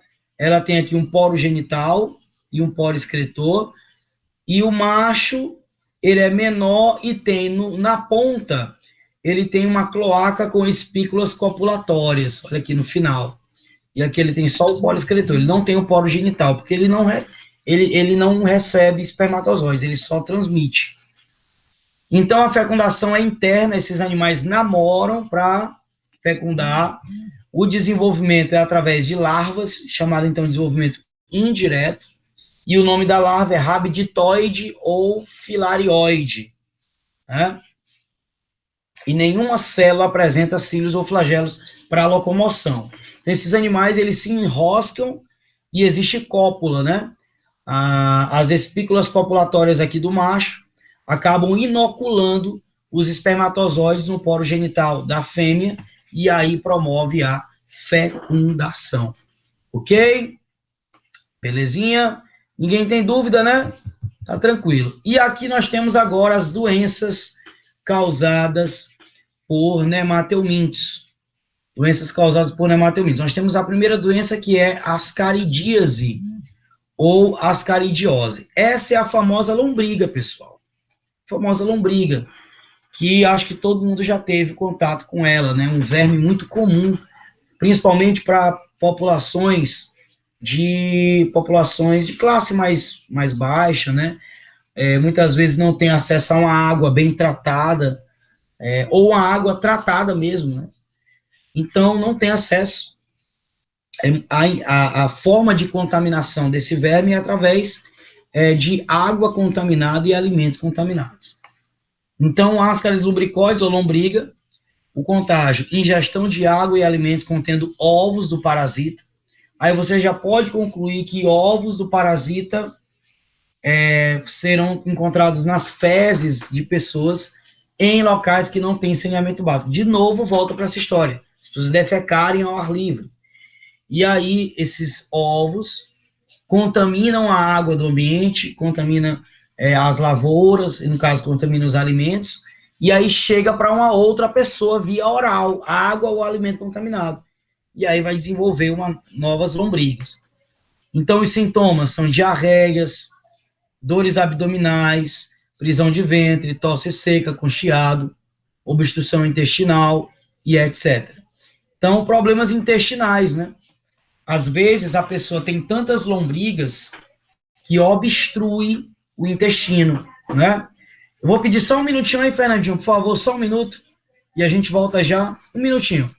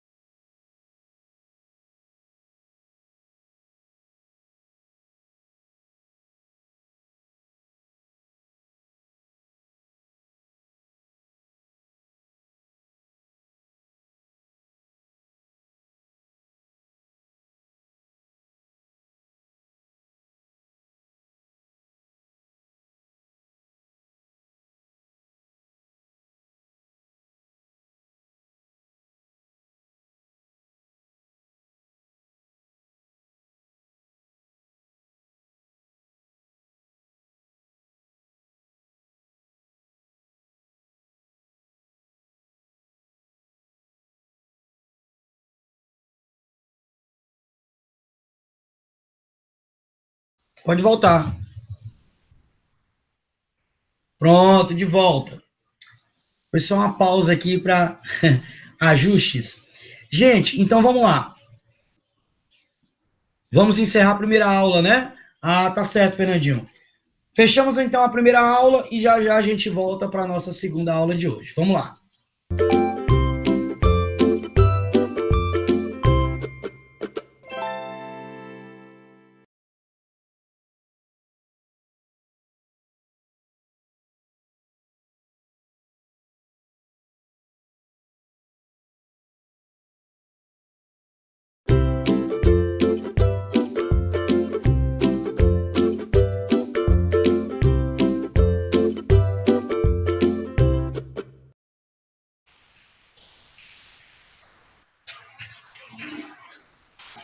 Olá, pessoal, muito bom dia, muito bom dia. Olha, nós estamos em dias de chuva, né? Aqui onde, aqui na, na, na minha região, tá, tá chovendo. Estamos ao vivo para todos vocês no nosso estado do Piauí. Graças a Deus, uma chuvinha para aliviar tanto calor, né, desse período do BR Obró. E vamos lá. Vamos continuar. Estávamos falando sobre é, os nemateumintos e falando aqui das doenças causadas por esses nemateumintos, né? A primeira aqui é a Ascaris lumbricoides ou lombriga, né? E pessoal, é como eu disse a vocês, as instalações sanitárias adequadas, elas são é, a, o Eric está dizendo que choveu com relâmpago e tudo, né? Francisco Santos também está com chuva, olha aí que bom. A Clemara está dizendo que tem chuva lá em Francisco Santos. Olha que bom. Desde ontem, né? Ontem já deu uma chuva. É, ontem à tarde, aqui na região, em Teresina, na região do Disseu, choveu bacana. A Fátima está chovendo também. Olha, Fátima, teu escritório é debaixo do pé de manga, né? Ah, rapaz, tá certo. Ah, aí é uma, aí é uma situação bacana, a pessoa trabalhar ao ar livre, né? Tranquilo. Mas a chuva não deixa, é verdade, tá certo. eu lembro que quando eu cheguei no Maranhão, quando eu passei no concurso a primeira vez, a escola que eu fui trabalhar, o pessoal comentava que começou debaixo de um pé de manga, né? Os professores iam lá, os alunos sentavam na cadeira até que construíram a escola física mesmo o prédio, né? Mas é bem representativo, viu, Fátima? ah, essa daí, é, choveu que repangalejou, né? Muito bem. Então, voltando aqui, o Gilvaniel aí, dando a ideia dele.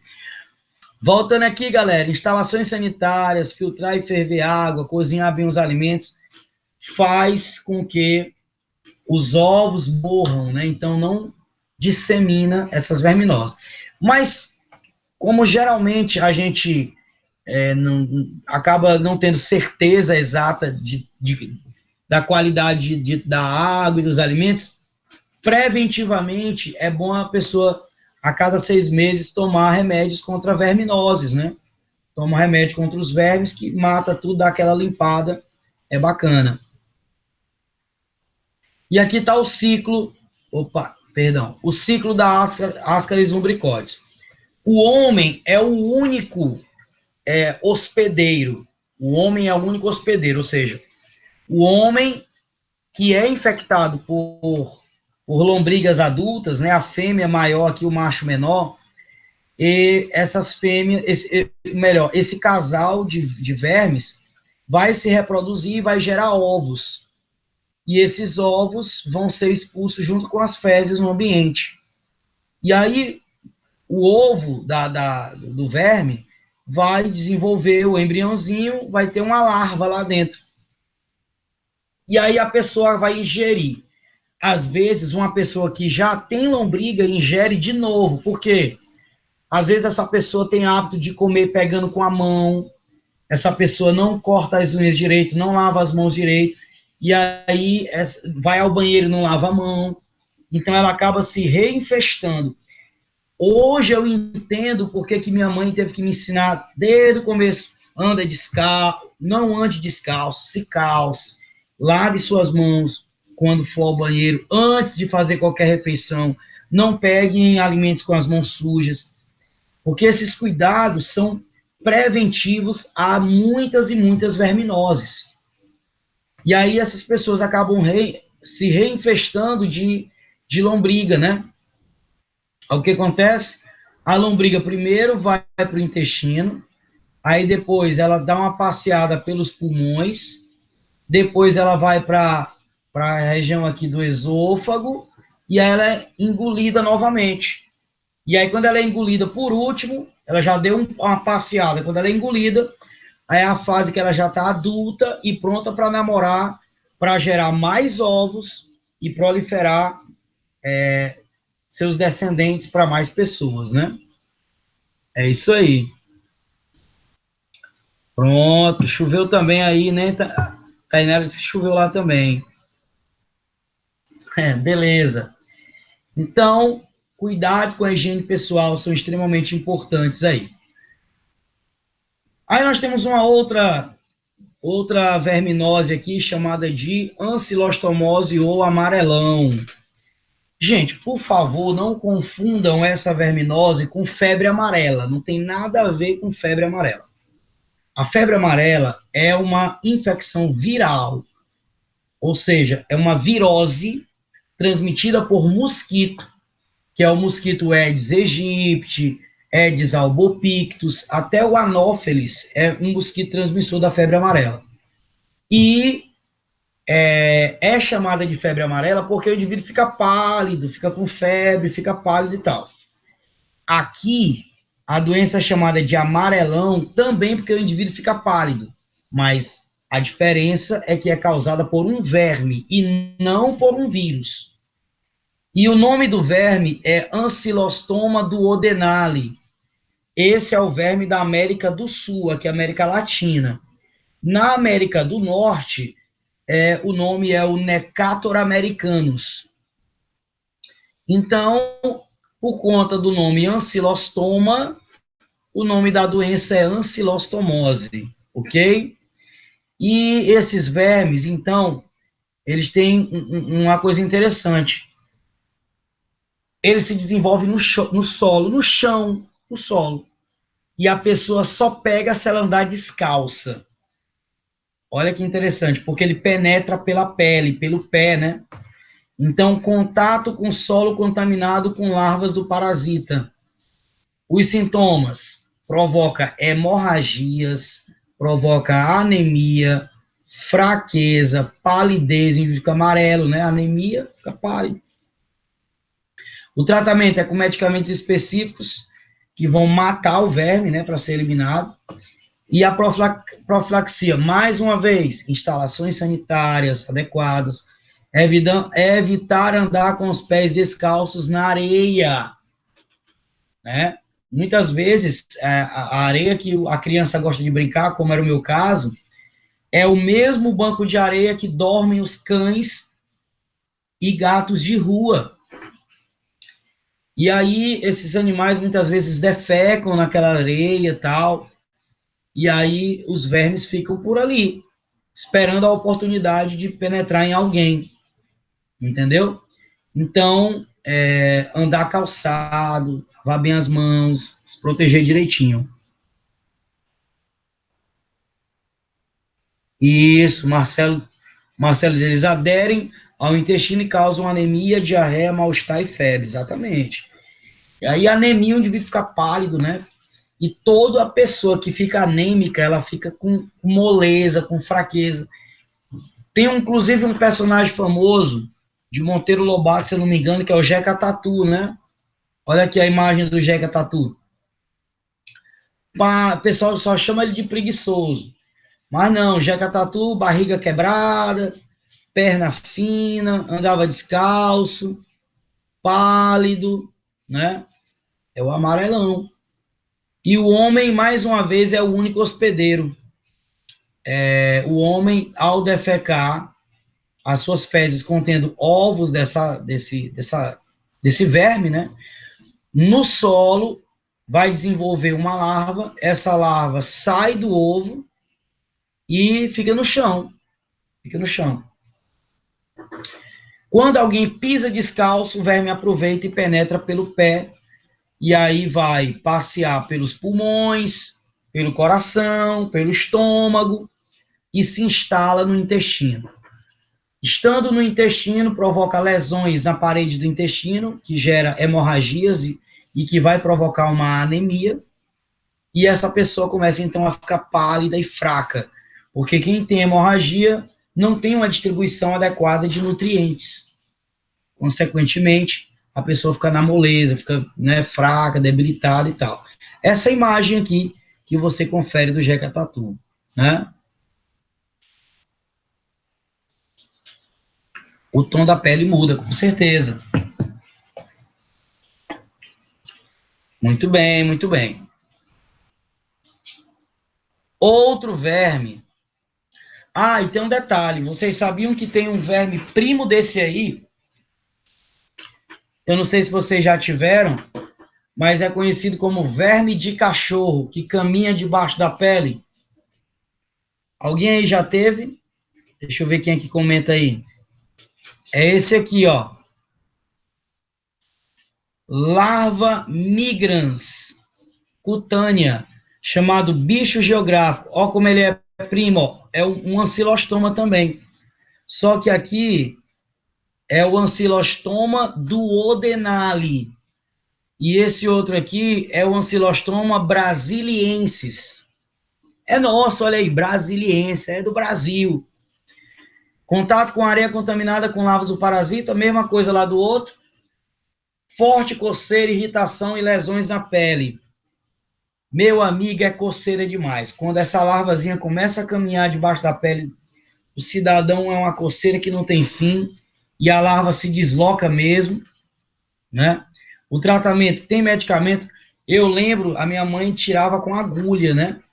Não sei se aconteceu com vocês, mas minha mãe tirava com agulha. Mas dá para matar com gelo, dá para matar com uma pomada específica, né? A minha mãe não, era na agulha mesmo, que era para ser doloroso. É de propósito. E depois ainda passava um metiolate, que doía. É, meu amigo, não era moleza, não.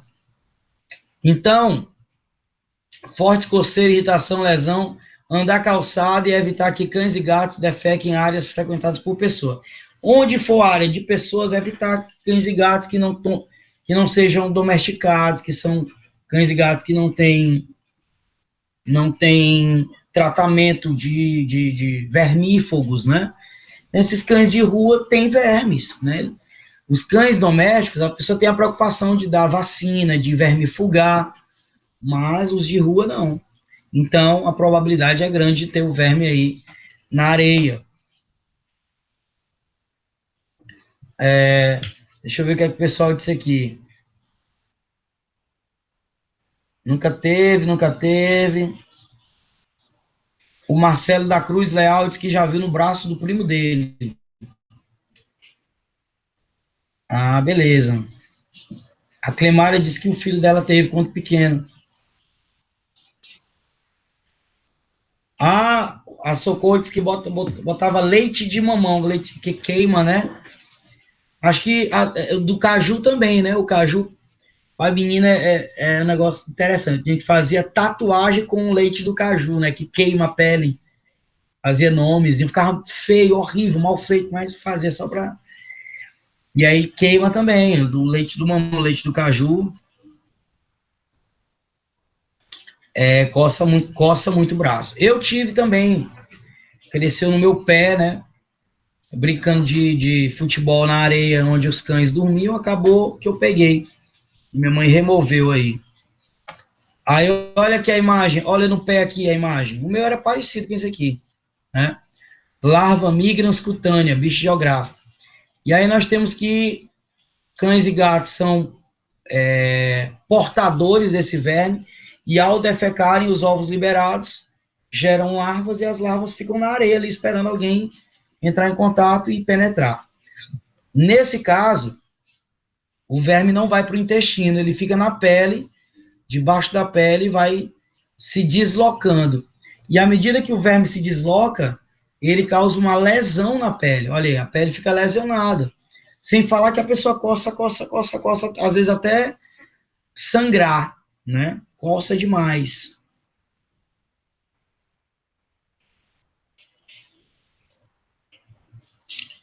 Ah, é, o Marcelo da Cruz está dizendo aí, como ele mora na roça, a maioria dos, dos animais não são domesticados e nem todos tomam vacinas adequadas. Aí o risco é maior de uma infestação, né?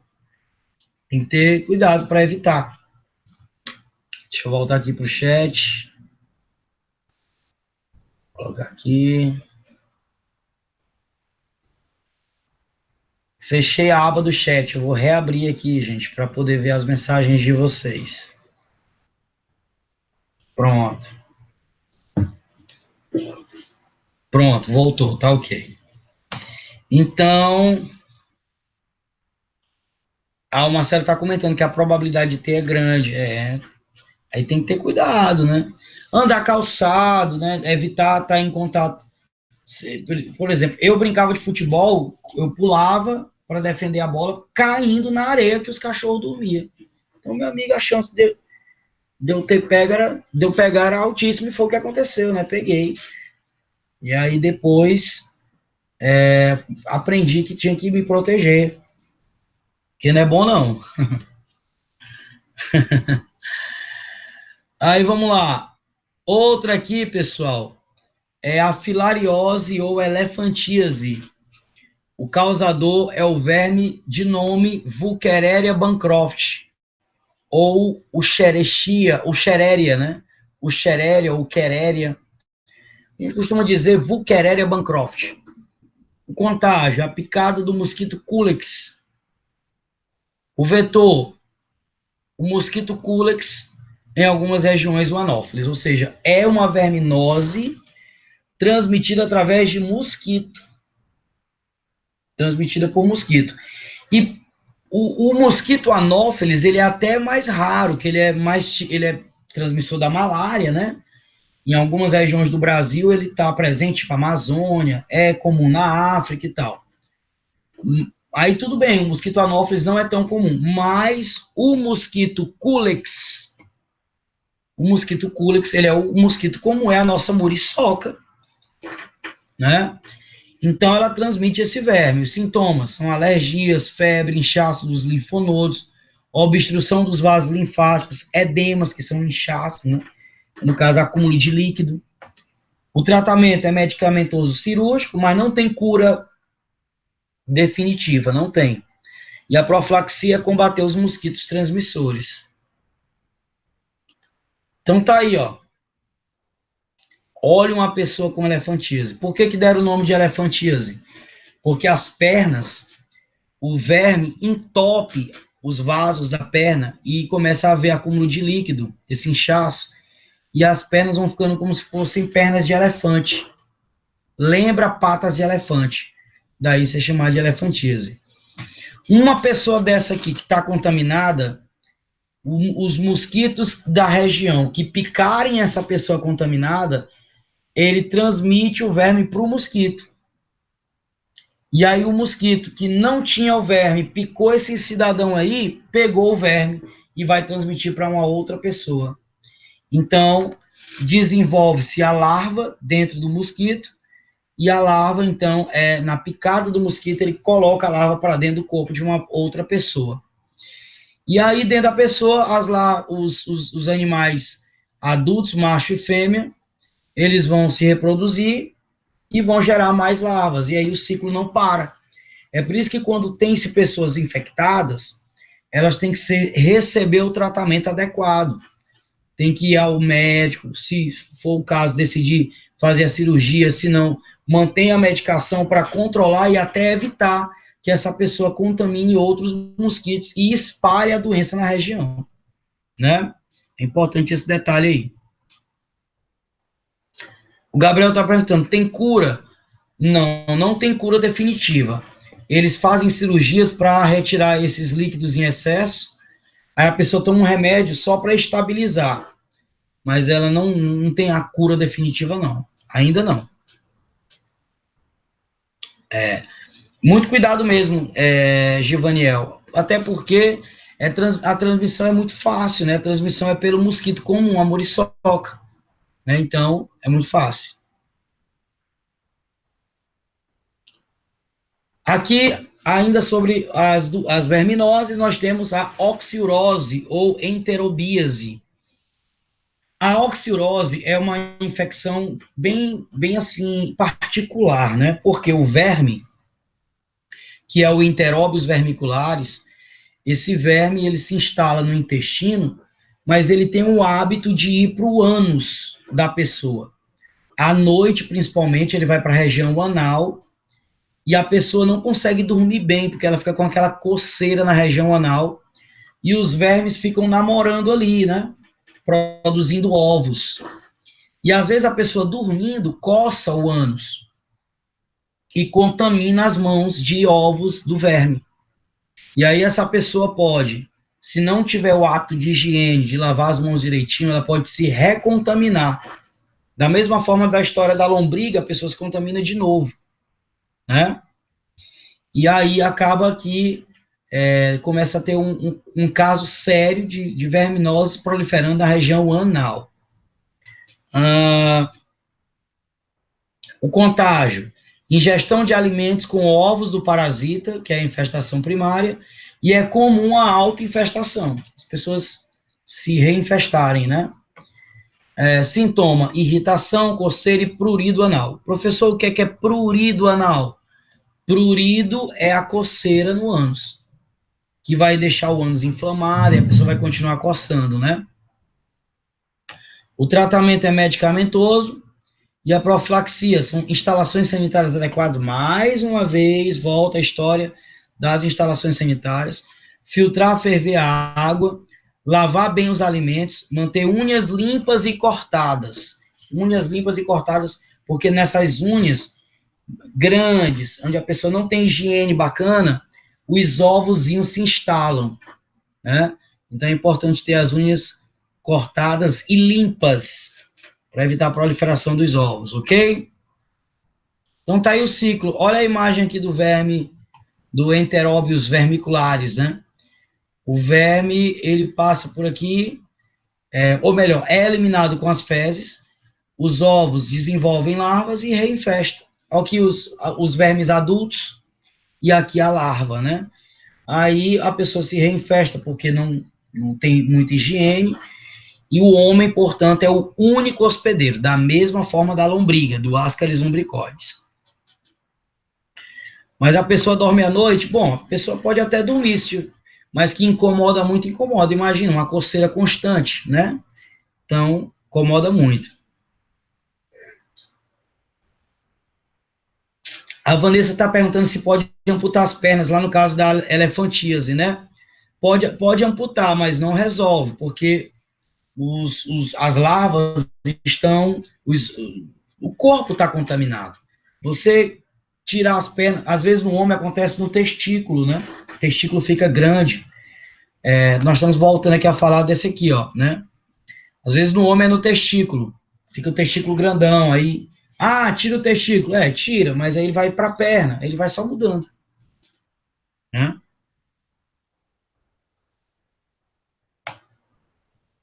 É triste mesmo. E fechou. Fechamos então aí o nosso assunto de nemateumintes com todas as verminoses.